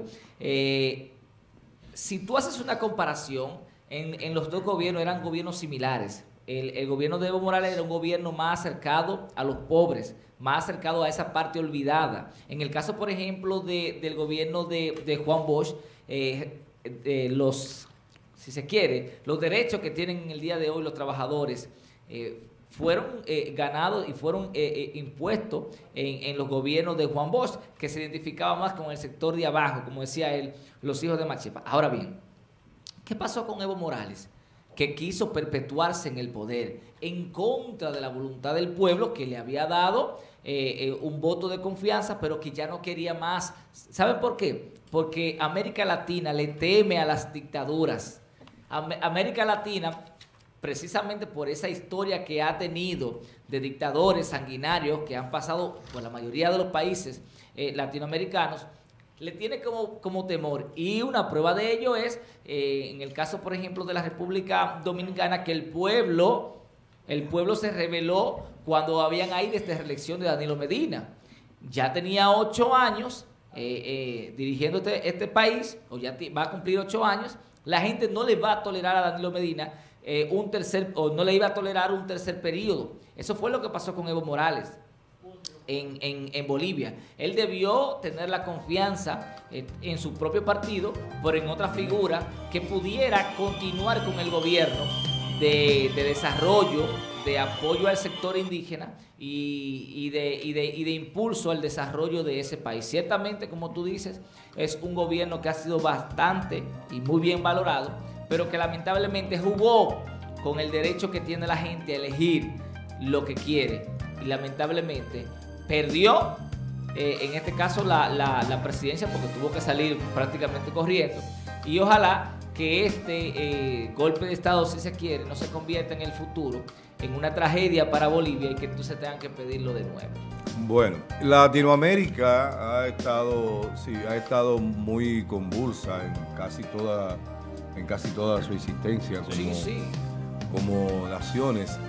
Eh, tenemos tenido, hemos tenido periodos en los cuales la- la- la- los países han sido dirigidos por estas tiranías que mencionaba Yeyan a su momento, eh, sanguinarias, con, basadas en la sangre. Especialmente muerte, la República Dominicana. Muertes, desapariciones, eh, gente que, que la- las oligarquías no, lo no le permitieron gobernar. El caso de José María Velasco Ibarra, por ejemplo, es un caso muy sintomático. Cinco veces presidente del Ecuador y cinco veces lo derrocaron los militares. Y era un orador tan, tan, tan magnífico, de tanta ca- calidad y, de tanto fuste que decía, dadme un balcón y les prometo que volveré. o sea, si me dejan hablar, soy presidente otra vez. Porque era un orador magnífico, José María Velasco Ibarra. Mira, no era abogado, era médico. Murió luego en el Amazonas de una fiebre amarilla que se fue para allá a curar gente y ahí se murió. Qué pena, qué pesar que nuestros países estén pasando por estas situaciones eh, sociales, estos estallidos. Eh, ahí entra también lo que tiene que ver con las famosas y tristes caravanas de suramericanos, eh, de latinos que se han estado dirigiendo en masas, que de alguna manera ha calmado, ha mermado por la insostenibilidad y la permanencia eh, que, o sea, la, la situación que tienen en sus países de no tener a mano esas respuestas de los gobiernos. Hay lo, una y lo situación... lamentable de todo esto es que cuando tú haces una panorámica de la historia latinoamericana te encuentras que gobiernos democráticos han sido pocos. Pero antes de eso, vamos a ver que tenemos a Arismendi la Antigua en Aguayo. Hay una protesta en Aguayo. Vamos a Aguayo. ver qué nos tiene Arismendi. Atención, Arismendi. Adelante. Lo tenemos. Eh, todavía. Bueno. ok, Mira, continúa. antes de eso, quiero, bueno, eh, hay unas imágenes que mandé al, al correo eh, para resaltar eh, a propósito de que el 25 de este mes se celebra el Día Internacional de la No Violencia contra la Mujer. Eh, estuvimos cosa, ¿eh? Sí. ¿Y en qué momento? ¿Qué momento? En el tenemos la imagen en el correo, la mandamos. Tenemos seis o siete Queremos en estos eh, días. resaltar esta labor y que hemos participado gracias a Yokairi que nos toma en cuenta para hacer esta campaña de concientización a las damas, un grupo de mujeres de acá de San Francisco de Macorís, eh, pues creando esta campaña eh, a través de las redes eh, para involucrar y aportar ese granito de arena, así se llama la campaña, Yo, me uno. ¿Y Selecta qué es? Eh, la revista Selecta, Ah. que es de Yokairi Capellán y un grupo de damas, pues llevando ese mensaje de que no una más. Y hace una- unas orientaciones que estaremos mostrando en las redes de los tipos de violencia, de cuándo saber parar, de qué hacer, de buscar esos apoyos y decir no. Porque si lo dijéramos en el momento preciso eh, o tuviéramos el apoyo que se necesita, tal vez fueran menos las muertes. Bueno, vamos a recibir ahora sí. Está Arismendi, la tenemos. antigua desde Aguayo. Vamos a ver qué está ocurriendo en Aguayo. Arismendi, adelante. Bueno, Bien, muchísimas gracias. En estos precisos momentos nos encontramos en el Distrito Municipal Antonio Gu- Guzmán Fernández.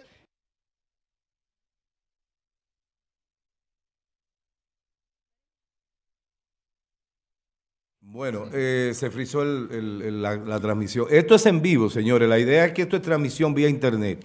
Y por esa razón, cuando la señal desmejora un poco, pues entonces tenemos este tipo de problemas. Pero volvemos, no hay ningún problema. Él va, eh, exacto, él va a estar en el, en el aire. Bueno, yo decía eh, dentro del tema que me corresponde que a pesar de todo lo que ha pasado, ya lo tenemos. Vamos a volver a Arismendi, a Arismendi la antigua, desde Aguayo, adelante. Por ejemplo, ahí no está odontología, ahí no está ningún, ningún medicamento casi mente llega ahí. Estamos en verdad, los doctores llegan cuando ellos quieran, ahí las cosas se hacen como si tuviéramos de lástima. Yo creo que nosotros debemos eh, exigirle en realidad de que eso se, se llene de todo lo que tiene que ver una a una. También usted sabe que tenemos el asfaltado de la calle, que todavía no nos lo han asfaltado, porque tiene todos los años que nos lo van a faltar y nada después que el gobierno central fue que no, que no desbarató la calle. También tenemos la escuelita que no se ha inaugurado todavía y también está terminada. Escuela Espejo, que le llaman. También tenemos aquí muchísimas cosas que la penetración a la parcela, esos caminos nos sirven. Estamos eh, en, realidad muy enojados porque no podemos entrar a buscar nuestros productos. También tenemos aquí, eh, eh, tenemos muchísimas cosas que nos que nos están afectando y hace muchísimo tiempo. Lamentablemente, este gobierno no ha hecho nada por nuestra comunidad y también el ayuntamiento también se base de la vista gorda, lamentando que tenemos una cancha comercial y que tampoco se ha terminado. También en el Higuero y en Génimo, eh, La Guama, o sea que son eh, secciones de este distrito municipal, presidente Antonio Guzmán Fernández, aunque este es el cálculo urbano, pero nosotros tenemos y estamos exigiendo, no pidiendo, de que se nos hagan las cosas con lo que llega aquí en este ayuntamiento. Me, ha- me está diciendo que ya pasado mañana van a, preparar la calle para faltarla, pero eso nos dicen siempre y queremos que se cumpla porque estamos eh, ya muy enojados porque lamentablemente se nos ha hablado muchas cosas que no es verdad y por eso estamos aquí hoy y eh, vamos, señores, nos vamos a preparar. Si no nos hacen lo que estamos pidiendo, nos iremos a la pista para que ahí nos vamos, cada uno con una silla, a sentarnos aunque sea media hora, para que así entonces se nos haga caso a lo que aquí está haciendo falta. Bien, repetimos eh, la situación. En estos precisos momentos, decenas de personas están protestando en el distrito municipal de Aguayo, exigiéndole a las autoridades varias reivindicaciones eh, que ya hace tiempo viene afectando este distrito municipal. Repetimos, esto es precisamente en estos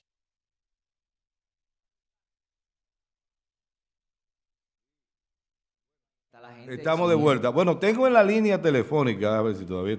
Tengo en la línea telefónica desde Bolivia al doctor Iván Montellano Roldán, un hermano que son de estos hermanos que la vida te permite elegir. Iván es un, un ex ministerio público de Bolivia y con quien vamos a conversar acerca de su visión de la situación por la que atraviesa el hermano país suramericano, Bolivia. Ahí se escucha. Eh, No, no, no se está escuchando. Vamos a ver. Mientras tanto, vamos a... Sí, vamos a cambiar un- el a- cable, a- ¿Se oye, creo yo? ahí ¿Se oye? ¿Se está Vamos a oyendo? ver, ¿se, se escucha? Aló. Aló, Iván. Aló. Sí, ok, ok. Buenos Sí, días. Muy buenos días, querido hermano. ¿Cómo estás, hermano? Bueno, gracias a Dios muy bien, eh, ya respirando un poco en mi país con, con la tranquilidad y la paz que necesita Bolivia. Y bueno, ahora viendo una, eh, una nueva visión de Estado con una presidenta que el día de ayer fue proclamada como tal. Primero agradecerte por la, por la llamada, agradecerte por la cobertura.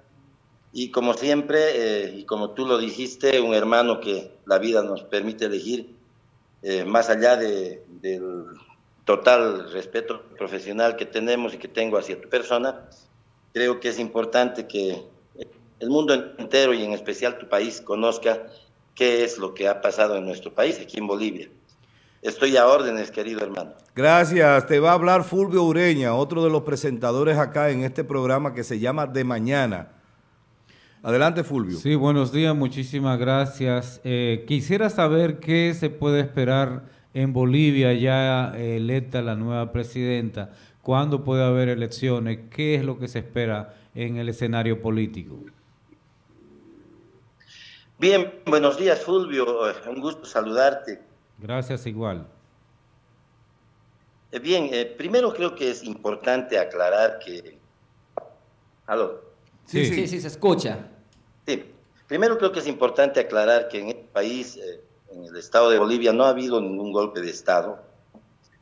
Ha sido una reacción del pueblo boliviano en cuanto a la determinación, no solamente de la OEA, sino unas, este, unas revisiones anteriores que se hicieron al, al cómputo de votos y que eh, lamentablemente eh, se ha detectado un fraude totalmente grande.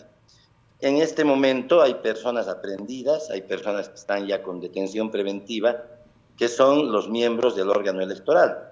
Y eh, verdaderamente la reacción del pueblo boliviano ha sido precisamente para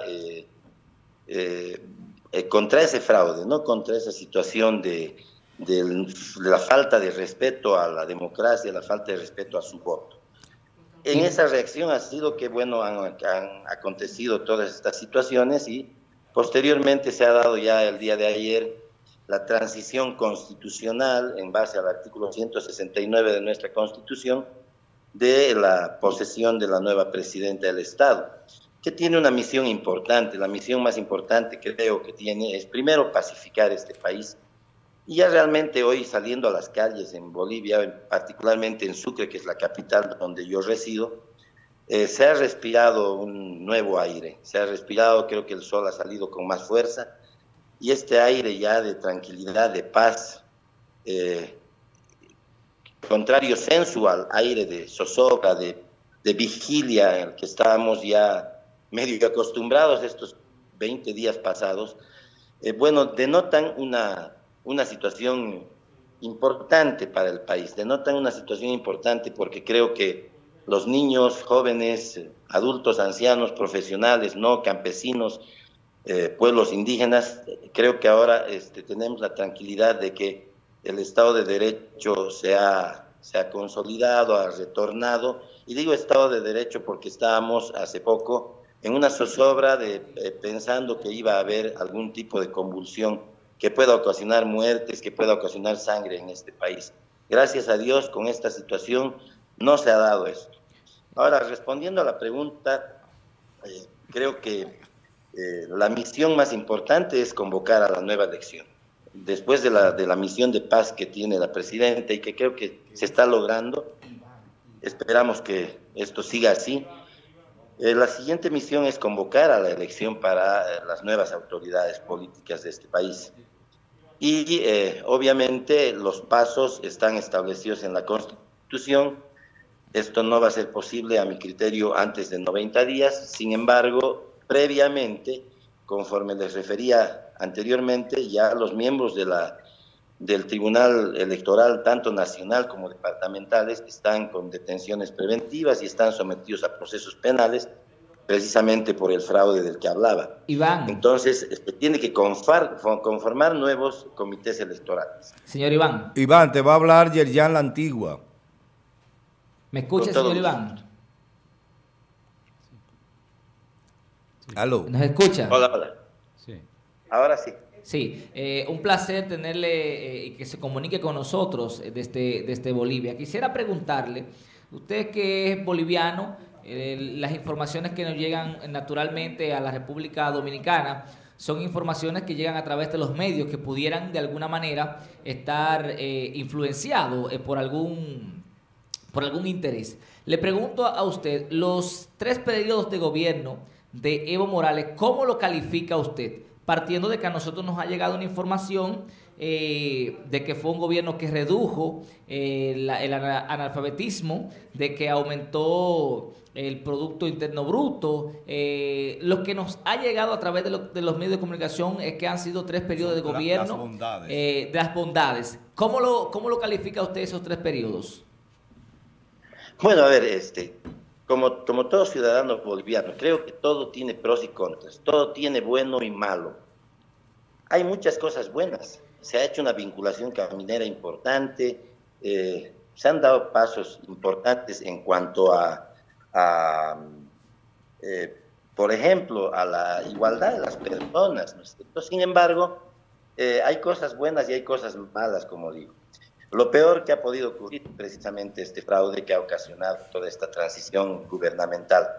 Eh, creo que es el detonante principal para que las personas eh, se decepcionen de todo lo bueno o malo que ha podido ser los tres periodos de gobierno anteriores del señor Evo Morales. Pero en sentido general, ¿cómo lo, cómo lo valora usted?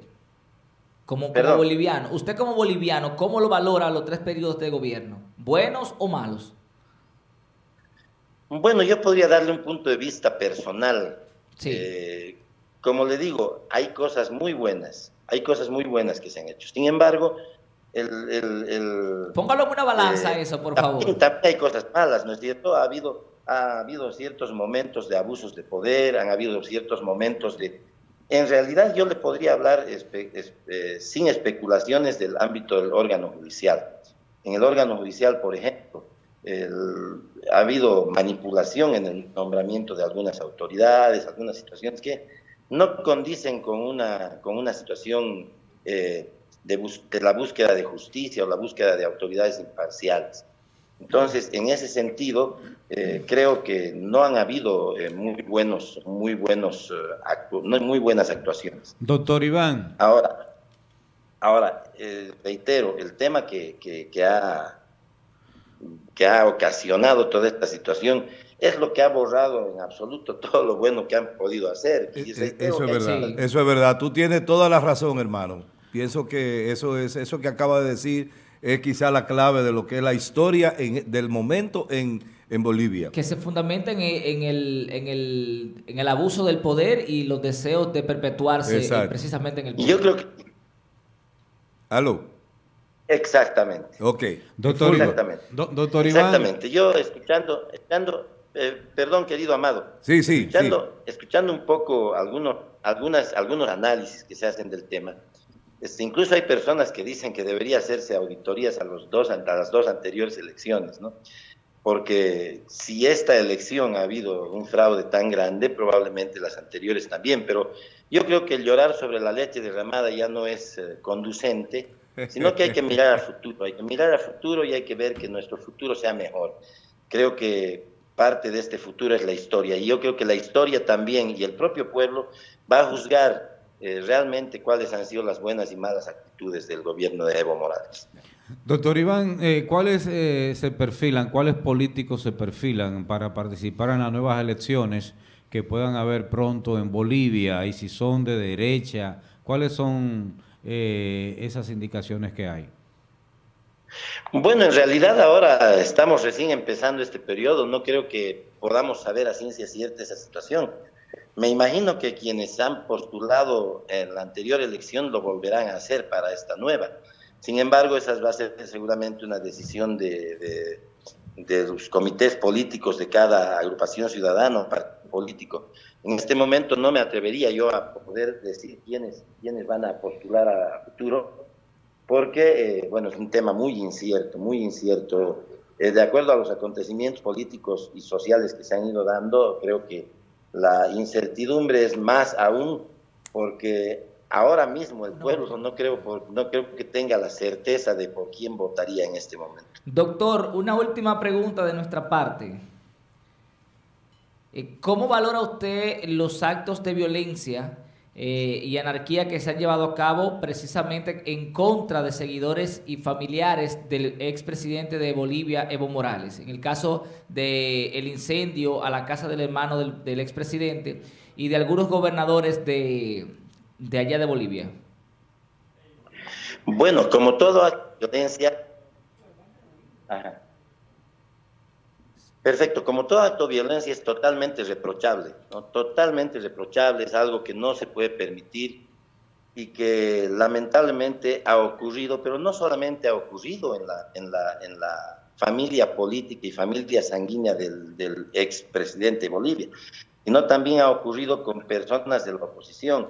Han quemado casas de periodistas, han quemado casas de personas que estaban eh, muy metidas en el movimiento cívico y que también es reprochable. O sea, de ambos lados han habido agresiones como quemas de inmuebles, como amenazas a, personas y eso es totalmente reprochable. Yo pienso que en este momento la Fiscalía General del Estado ya debería estar accionando el poder público para poder determinar quiénes han cometido esos delitos, porque son delitos, y pues poner un alto a esa situación de ambas partes. Lo que sí es que hay que aclarar y también eh, es importante hacerlo, de que eh, en estos días que han habido de, de- del paro movilizado, el paro cívico, etcétera, no he escuchado particularmente yo una persona que haya sido muerta por la policía o por el, ejército. Si, haya, si han habido muertos es precisamente porque ha habido un enfrentamiento entre personas de diferentes bandos, unos que apoyaban a Evo Morales y otros que apoyaban el paro cívico. Pero eh, realmente el ejército y la policía han entrado en el momento oportuno para poder eh, disipar todo este, todo este tema de violencia. Y como les dije eh, cuando empezamos esta conversación, en principio el, el, eh, el tema de la pacificación del país ha sido lo más importante que se ha dado el día de ayer.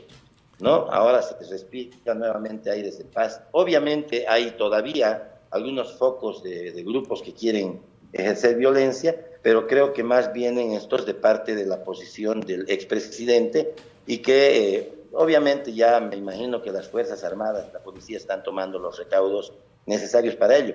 Pero reitero, a mi criterio es una actitud reprochable, venga de quien venga, porque los bienes y las personas, este, las familias no tienen por qué pasar ese tema de esos, esos, eh, esos temas que realmente son eh, vulneraciones a los derechos humanos. Así es. Gracias, mi querido hermano. Gracias por estas eh, tus palabras, por las informaciones que nos ha dado.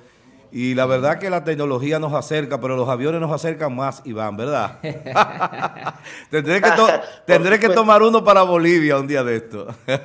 Por, por supuesto, quedan invitados todos ustedes, especialmente tú, Amado. Gracias, Estamos, hermano. eh, estamos hace mucho tiempo queriendo volver a estrechar nuestras manos, pero Claro. ojalá sea pronto y por favor, eh, si no tomas tú el avión, voy a tener que tomarlo yo. hasta- ese, ese es un, ese es un compromiso que tengo contigo y, y- y con Bolivia. Gracias, eh, Iván Montellano. Excelente, Muchas excelente. gracias, mi querido hermano, eh, por, esta, por estas informaciones en exclusiva Sí, desde Bolivia, el doctor Iván Montellano Roldán, dándonos una panorámica de todo lo que ha acontecido en Bolivia y cómo está la situación en Bolivia en este momento. Nosotros ¿Qué tenemos ahí el WhatsApp? vamos al WhatsApp, Sí. vamos a ver qué nos dicen los amigos del WhatsApp. Y en lo que llega el WhatsApp, decirle a las personas que luego de la pausa, atención Fulvio, tengo aquí en mis manos Te agradezco. eh, te los agradezco. resultados de la encuesta, que ya la gente la sabe, pero yo voy a detallarla en el día de hoy para nuestros televidentes, de la primera encuesta que se ha hecho luego de las elecciones eh, primarias del Centro Económico del Cibao. Y vamos a hablar de los numeritos y vamos a presentarle al público cuáles son los candidatos que prenden y los que no prenden, de lo que hablábamos aquí ayer. Porque este programa ha estado muy, muy live hoy, hay que encender esta vaina. Eh, préstame el WhatsApp. Dice ahí Iris del sector Espínola. Buenos días. Eh, yo tengo una inquietud y es que quiero saber por qué Sócrates se muestra tan eh, desinteresante en este y otros temas, en especial como es la cultura. Eh, ese es un estilo de Sócrates. No es que él está desinteresado, sino que ese es su estilo. Sí. Bienvenida Hidalgo de la Villa Olímpica. Atención muchachos, bienvenida Hidalgo. Eh, nos manda ahí de, Bo- de Bolivia, eh, dice golpe de estado en, en retroceso. Eh, bueno, ahí está. Continuamos con Ibelice Pantaleón.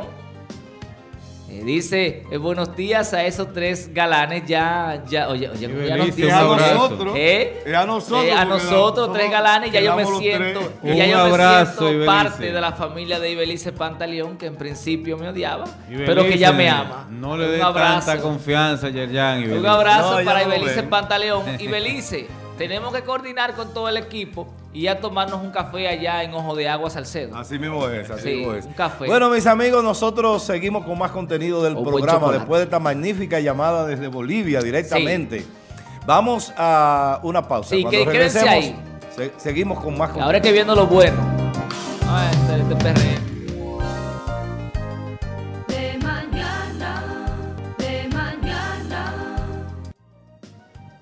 Gracias por continuar con nosotros aquí en De Mañana y como siempre hay temas pendientes y también calientes. Ahora nos toca Yerjan con su tema principal. Gracias, gracias Fulvio y a todo el equipo de mañana y a la gente que nos está viendo. Quiero saludar de manera especial a una televidente eh, que nos vio hace unos días y nos dijo, yo no me pierdo el programa y que le manda saludos a todos ustedes. Ella es la señora Vivian.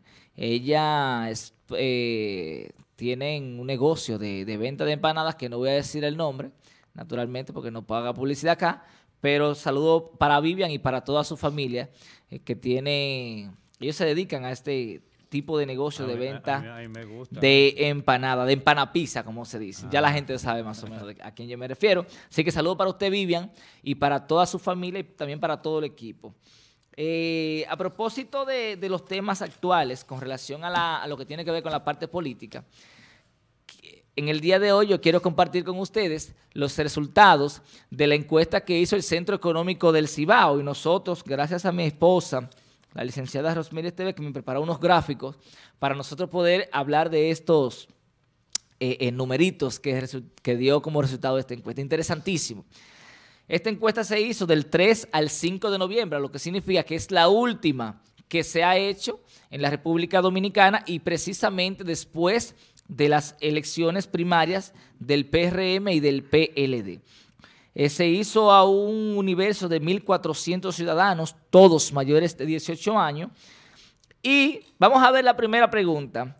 Se le preguntó a la gente, eh, en primera vuelta, ¿por quién usted votaría entre Luis Abinader, Gonzalo Castillo, Leonel Fernández, Ramfi eh, Trujillo Domínguez y Guillermo Moreno? Vamos a ver, muchachos, la gráfica. Mírenla ahí.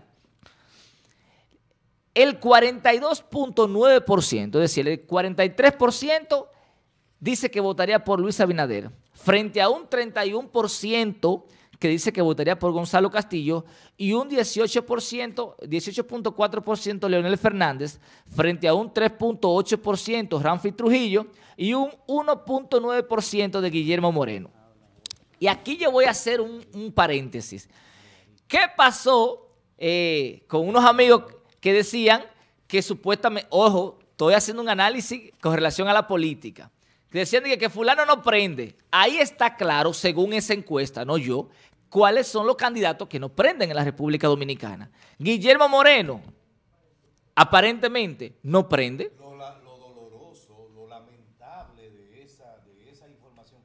Ujú. Esté por encima. Sí. Un aventurero, un improvisado, un tipo que no sabe nada de lo que pasa en este país, tenga 3.8. 3.8. Estamos hablando de un 4%. Eso es increíble. Entonces, Frente a Guillermo, que es un gran muchacho.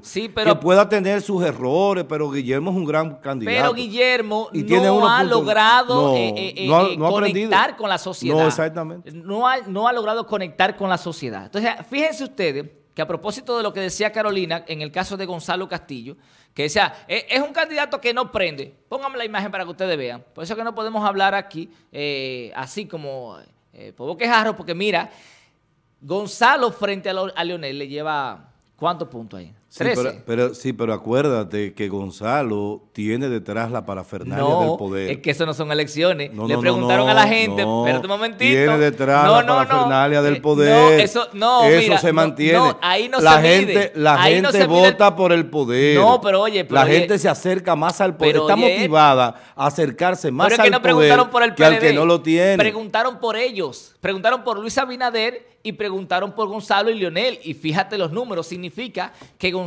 ahora mismo, de tú a tú frente a Leonel, está mejor posicionado. Pero de todos, el que está mejor posicionado es Luis Abinader. Seguimos entonces.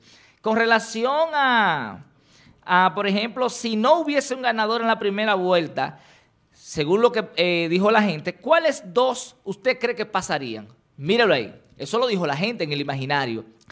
Luis Abinader y Gonzalo Castillo, un 55 eh, un 55.10%. Es decir, el 55% dijo que, van a pasar a la segunda ronda Luis Abinader y Gonzalo Castillo. Eh, un 20% dice que van a pasar Luis Abinader y Leonel Fernández y un 12% dicen que Gonzalo y Leonel serían los que pasarían. Significa que la gente está clara que de no haber un ganador en primera vuelta, quienes pasarían a la segunda ronda son Luis Abinader y Gonzalo Castillo. Ojo, eso es en función a esa encuesta del Centro Económico del Cibao. Vamos a continuar. Pero mira, eso que tú acabas de, de- de mostrar es exactamente el, el slide anterior. Ahí no hay diferencia. Cuando tú analizas ese slide, o sea, esa, esa, esa gráfica, y analizas la gráfica anterior, es la misma. Claro. Es la misma gráfica. Lo que, lo, lo que significa que Luis Abinader y Gonzalo Castillo son, lo- son los dos candidatos que están mejor posicionados en esta... En esta en- Aparentemente, aparentemente, ahora mismo, según esa encuesta. Ahora bien, eh, otra pregunta que hicieron eh, estos encuestadores dice, ¿y si los candidatos a la presidencia de la República fueran solo dos, Gonzalo Castillo y Luis Abinader? Eh, no, me volaron una, muchacho. Eh, se volaron una, creo, los muchachos. Vamos a ver. Ah, bueno, ahí, ahí está.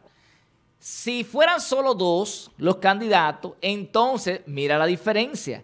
Luis Abinader con un 58.80%. O sea, estamos hablando de 60%. 60, eh, eh, 59% frente a un 34.5%, por- eh, eh, 50% de Gonzalo Castillo. Estamos hablando de una diferencia de 24 puntos. Esos son los votos del PLD, los de Gonzalo Lo- Castillo. los de, de- de 24 ¿Eh? puntos. Los votos duros del PLD, que lo- es lo que tiene Gonzalo Castillo. Eh, ahí está. Y un 4.60% no votaría por ninguno. Y un 2.10% No dice sabe. que aún no sabe. O sea que ese 2% no, se, no representa prácticamente nada para eso.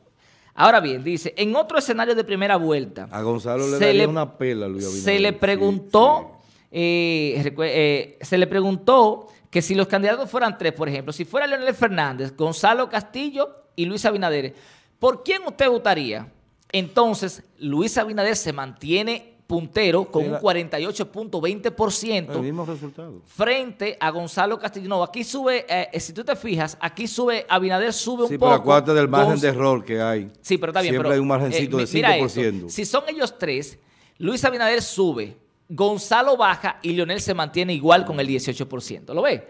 Gonzalo bajó de un 34 a un 29.10%. Bajó 4 puntos y eh, Luis Abinader sube 6. Suma, sumas, sumas ahora Leonel Fernández y Luis Abinader para que tú veas lo que va a pasar con Gonzalo Castillo y el resto. de- eh, eh, no, porque tú lo viste ahorita. eh, por ejemplo, en el caso de que solamente sea Luis Abinader y Gonzalo Castillo, No, no, pero suma a, a Fe- a Leonel con Luis. es que tú no lo puedes ver así. No, no, lo pero puedes te sumar estoy diciendo, hazlo mentalmente, hazlo, mentalmente para que vea cuál puede ser, 64.60. para que vea cuál 64%. puede ser el panorama electoral real de la República Dominicana en los próximos meses. En este caso, vamos a ver, dice ahí eh, otra, otra pregunta que se hizo. Eh, dice, ¿considera usted que habrá eh, un solo un candidato presidencial que gane en esta en, la- en primera vuelta? Dice que el 65% piensa que sí, que habrá un ganador en primera vuelta frente a un 24% que dice que no y un 10% que dice que no sabe. Ahora bien, cuando se habla de cuál es el problema que más le afecta a la gente, atención, miren los problemas que según esa encuesta más le afectan a las personas que, que fueron encuestados. Un 33% de los encuestados dijo que el, el principal problema que le afecta es la delincuencia y la inseguridad. Un 20% dijo que el alto costo de la vida, ahí están los dos, lo- eh, y entonces el 14.90% dice que la corrupción. Miren los tres principales problemas de la República Dominicana. Sí, pero mira, mira dónde está la corrupción que pudiera Sí, ser el tema que pudiera principal. ser el principal, que es el que provoca la delincuencia, la inseguridad, el alto costo de Eso la vida, mismo pasó en la drogadicción y, y los apagones. Eso mismo pasó en las elecciones anteriores, que el tema de la corrupción, cuando lo medían las encuestas, salía siempre chiquito. Mira, por ejemplo, el caso de los apagones. Parece que a la gente no le importa mucho o, o se ha ido resolviendo esa parte. Este es un porque país que solamente la gente dice, ese es su 3.60% búsqueda, se la está que- buscando. Y si yo me acerco a él, al tipo que está corrompiendo, se me va bien. Con relación la gente al piensa voto, de esa forma. al voto automatizado, vamos a ver, con relación al voto automatizado, eh, mire lo que la gente dice. Eh, ¿Está usted de acuerdo con el, con el voto automatizado? Un 48.10% dice que sí y un Wow, 48.10% dice que no. La vaina está Está dividido. el- mitad, mitad. O sea, hay un empate ahí. Entonces, lo último eh, es con relación a la aprobación del gobierno de Danilo Medina. Miren eso. El nivel de aprobación, ojo, eso no soy yo que lo estoy diciendo, eso lo dijo el Centro Económico del Cibao. Eh, creo que hay un error en la imagen. Hay un error en la imagen. En la, Eh, gráfica en la gráfica hay un error. De la derecha. Pero es prácticamente un empate. No sé qué Sí, pasó ahí. prácticamente un Pero hay un, empate. eh, dice el nivel de aprobación del de la gestión de Danilo Medina, un 48.40 lo aprueba frente a un 48.20% que lo desaprueba. Hay un error ahí en la gráfica, pero eso es prácticamente la mitad y mitad. Eh, ¿A qué tú crees que se debe eso?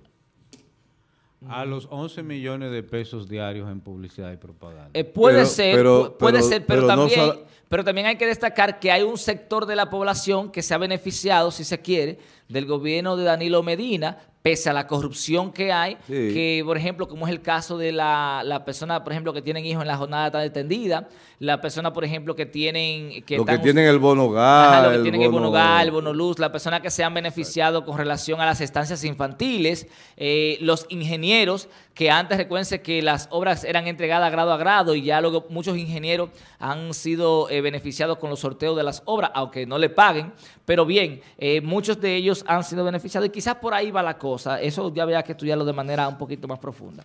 Yo quiero invitarle para terminar a ustedes a, a leer un escrito que hizo Juan Tomás Tavares de acento.com que habla del gancho de los resultados rápidos con relación al voto automatizado. Y yo estoy de acuerdo con él. Él plantea eh, que la Junta Central Electoral, ma- en las próximas elecciones, en el caso de utilizar el voto automatizado, debe procurar, en vez de, querer dar los resultados rápidos, de que sean confiables y que sean eficaces. ¿De- ¿En qué sentido? Primero, antes de comenzar a emitir los boletines, que hayan sido cerrados todos los centros de votación, que no haya nadie votando y que se haya hecho el conteo manual de todos, del 100% de los votos. Y una vez se ha hecho el conteo manual del 100% de los votos en los centros electorales, y se hayan ya levantado las actas, entonces que comience la transmisión de los datos, porque ciertamente eso pudiera eh, eh, trastornar lo que es el voto de mucha gente que, que aún se mantiene en la fila y provocar también algún tipo de confusión, porque si tú diste unos resultados que después no se concuerdan con los con el voto, eh, con el conteo manual, entonces eso pudiera traer a confusión. De manera Bueno. que yo creo que la Junta Central Electoral, en caso de aplicar el voto automatizado, debe tomar estas eh, medidas eh, correctivas de lo que pasó en eh, las elecciones primarias pasadas y tratar de que en esta ocasión no pase lo que pasó en las anteriores. Ya, hay especiales. Bueno, Fulvio, ¿qué tú nos tienes hoy? Yo creía que ya nada. No, no, no, sí, todavía, ¿Cómo que ya nada? todavía tiene tiempo. ¿Cómo que ya nada? Pero todavía queda tiempo en el programa. Quiero eh, analizar con ustedes en la misma temática que he hecho esta semana, parte de lo que es el informe de OSFAN y otros informes de organismos nacionales e internacionales. Y en este caso voy a analizar la triada, las tres patas de la mesa en la gobernanza del PLD, en las ejecutorias de gobernanza, en esa combinación inaudita de política y negocios. Y las tres patas que forman esta triada, valga la redundancia, voy a compartir con ustedes el clientelismo, el dispendio y la corrupción, que son tres cosas diferentes, aunque una puede envolverla a la tres. Clientelismo, dispendio y corrupción. Por ejemplo, cuando hablamos de dispendio, estamos hablando de las grandes inversiones que se hacen, cerca de 75 mil millones de pesos que se hacen en, en- en inversiones en 44 programas que tiene el gobierno y que esos 44 programas pues no tienen incidencia directamente en el ser humano, no tienen incidencia directamente en la población, no tienen incidencia directamente en los ciudadanos de a pie. Y lo otro es ese dispendio caracterizado por grande uso de recursos en inauguraciones, en publicidad, en eh, bocinas pagas y también en alimentos que usan instituciones públicas. Llámese licor, mucho uso de licor, mucho uso de cena suntuosa. Por ejemplo, ahora para Navidad ya la mayoría de los ministerios tienen contratadas eh, grandes orquestas y una serie de gastos que se podrían decir innecesarios en un país eh, necesitado de recursos, que casualmente ahora está buscando eh, presentar una modificación al presupuesto 2019, un adendum, cercano a los 74 mil millones de pesos para poder cumplir con el mes de noviembre y el mes de diciembre. Y los diputados de oposición que representa el PRM, pues eh, tienen, le tienen el juego trancado al gobierno, porque hay que explicar de dónde se va a sacar esto y cómo se van a hacer estos gastos y por qué se están haciendo estos adendos. Si estaba contemplado en el presupuesto eh, otro tipo de gastos. Entonces, esta necesidad de diferencias en el Congreso es lo que se necesitaba, que hacía tiempo estaba siendo manejada directamente por el partido de gobierno. Y en este dispendio, de acuerdo a lo que son los organismos que estudian estos casos, señores, hablar de 11 millones a 16 millones por día en publicidad es algo fuerte. Y decir que el presupuesto lo que contempla para el 2020 es apenas el 1.7% para salud. El 1.7%, el Producto Interno Bruto, es lo que, que se contempla para la salud. Y la inversión que se hace en lo social no pasa de 7.8% y los demás países están en un 14%. Solo, por ejemplo, cuando uno ve lo que es el dispendio de todos los gastos del gobierno en el presupuesto nacional, solo han podido demostrar un tercio, un tercio, un tercio, o el 33% de todos los gastos del gobierno es lo que han podido demostrar legítimamente. Ahí se ve todas las cosas eh, descontroladas que hay. Lo que es penoso es, en un país como el nuestro, en vía de desarrollo, con necesidades graves como son las necesidades de vivienda, que se gaste cinco veces más en publicidad que en inversión en vivienda. El gobierno no tiene intención de mejorarle la calidad de vida al dominicano en asuntos de vivienda porque no está dentro de, sus prioridades. Apenas tiene algunos proyectos que lo usan como emblema para dar publicidad, para dar propaganda y a veces gastan más en la misma publicidad que lo que han hecho con el proyecto. Por ejemplo, en República Dominicana hay 61.911 empleados por cada millón de habitantes.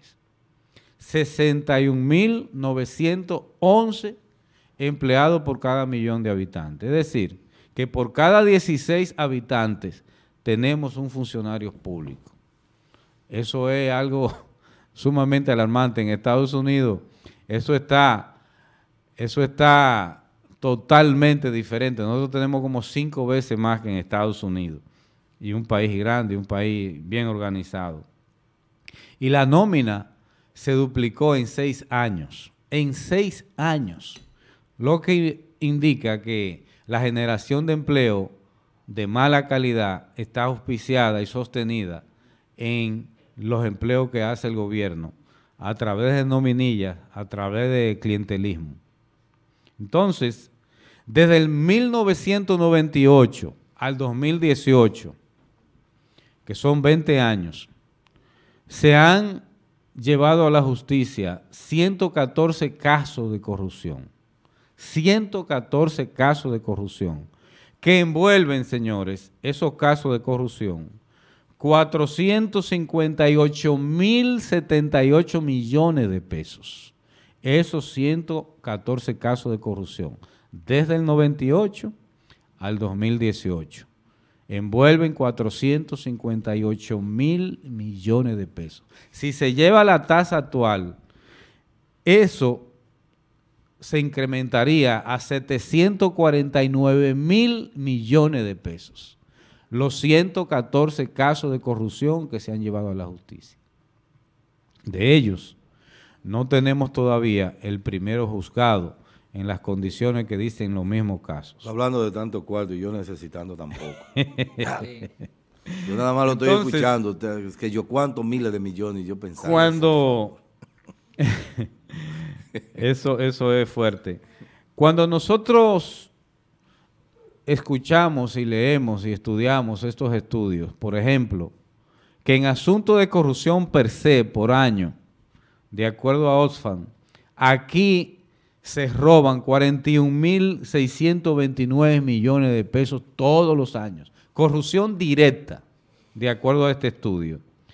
Y en irregularidades, irregularidades que se dan dentro del tren administrativo, 154.760 millones. Si usted usa, une lo que es corrupción y estas irregularidades de la mala calidad de la inversión, estaríamos hablando de más de 200 mil millones de pesos por año que se traga la corrupción y se tragan las irregularidades administrativas de este gobierno.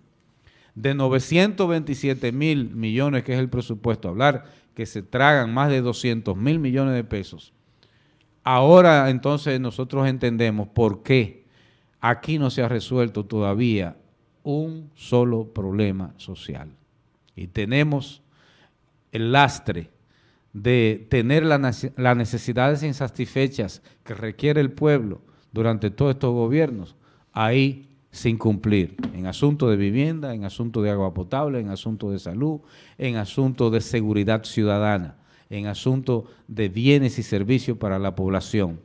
Esto es simplemente lacerar la calidad de vida del dominicano por no poner correctivos en la corrupción, en el despilfarro y en el clientelismo. ¿Podrá la República Dominicana tener esperanza de un equipo gubernamental que aplique las sanciones necesarias y requeridas cuando alguien cometa un acto de corrupción? Porque pensar que vamos a tener un equipo gobernante sin corrupto, eso Eh, es... es- no, no, pero eso no existe en ninguna Exacto, parte. eso no hay forma. Oye, Ahora, tú, tú vas al las- mercado, tú vas al mercado, escúchame Fulvio, a comprar plátano o a comprar mango, me ha pasado muchas veces. Y si te descuidaste, de los de 10 mangos que te ponen, te, te meten dos dañados. Sí, la misma Eso gráfica corrupción. que tú Porque este es mostrabas. un país que vive del fraude. Sí, este es un Sí. país La misma corrupto. práctica, eh, gráfica que tú mostraste ahí de la encuestadora. encuesta. ¿Cuáles son los tres pilares que tiene principales? La delincuencia, La delincuencia. La inseguridad. La inseguridad, la inseguridad, la corrupción. Eh, el alto costo de la vida el y la corrupción. costo de la vida. Pero la y todo viene por la corrupción. Por la corrupción, que debería ser Y la el falta de oportunidades. Entonces, usted va hoy a comprar al mercado y lo estafan.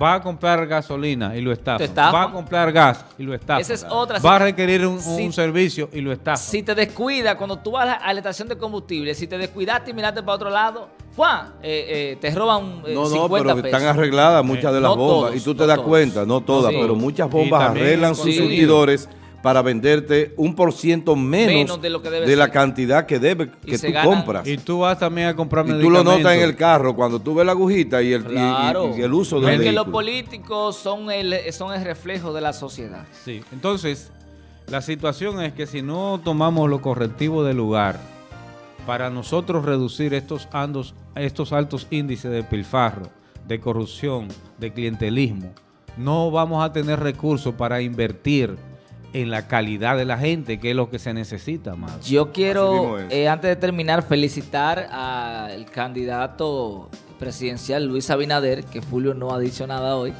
que ayer presentó su programa de gobierno eh, eh, titulado El cambio que viene. Una propuesta muy interesante. Digna de estudio, ¿eh? Digna de estudiar. Yo la voy a trabajar a- aquí vamos a posiblemente hacer mañana. Que Fulvio nos la haga llegar Sí, para entonces eh, para trabajarla en un eh, programa. explicarla. Claro. Eh, yo me comprometo a venir aquí a explicar los está- diferentes puntos que él está planteando. Y decir que Y este programa, este propuesta. programa está dispuesto a hacer eso mismo con otros candidatos. Sí, sí, sí, porque Con que- cualquier candidato que haga una propuesta seria. Ah, incluso él decía. Nosotros estamos dispuestos a discutirla acá. En su discurso se decía que eh, se han quejado de que los, los candidatos presidenciales o políticos no tienen una propuesta, pues él ayer le presentó una propuesta al país que sabemos que en esta semana se va a estar difundiendo por todos los Así medios, es. que luego nosotros vamos a explicar en este programa cada uno de los puntos, entre los cuales está elegir un, eh, un fiscal o un Procurador. procurador fiscal que sea independiente. Sí. Pero yo creo que no lo debe elegir el gobierno, debe ser por concurso para que así se Vamos a ver, porque hay mecanismos, pero Sí. la independencia es importante. Es muy- este es tema. muy importante. Bueno, señores, la propuesta que nosotros hacemos es que mañana estamos de regreso en de mañana, desde Sí. las 7 hasta las 10. Así que pasen un feliz día. Para nosotros ha sido Pero un gran un- placer estar con ustedes y nos reunimos mañana No va a haber- desde las 7 no va a haber de mañana. Telenor, Canal Abinader. 10. Impunidad, no va a haber.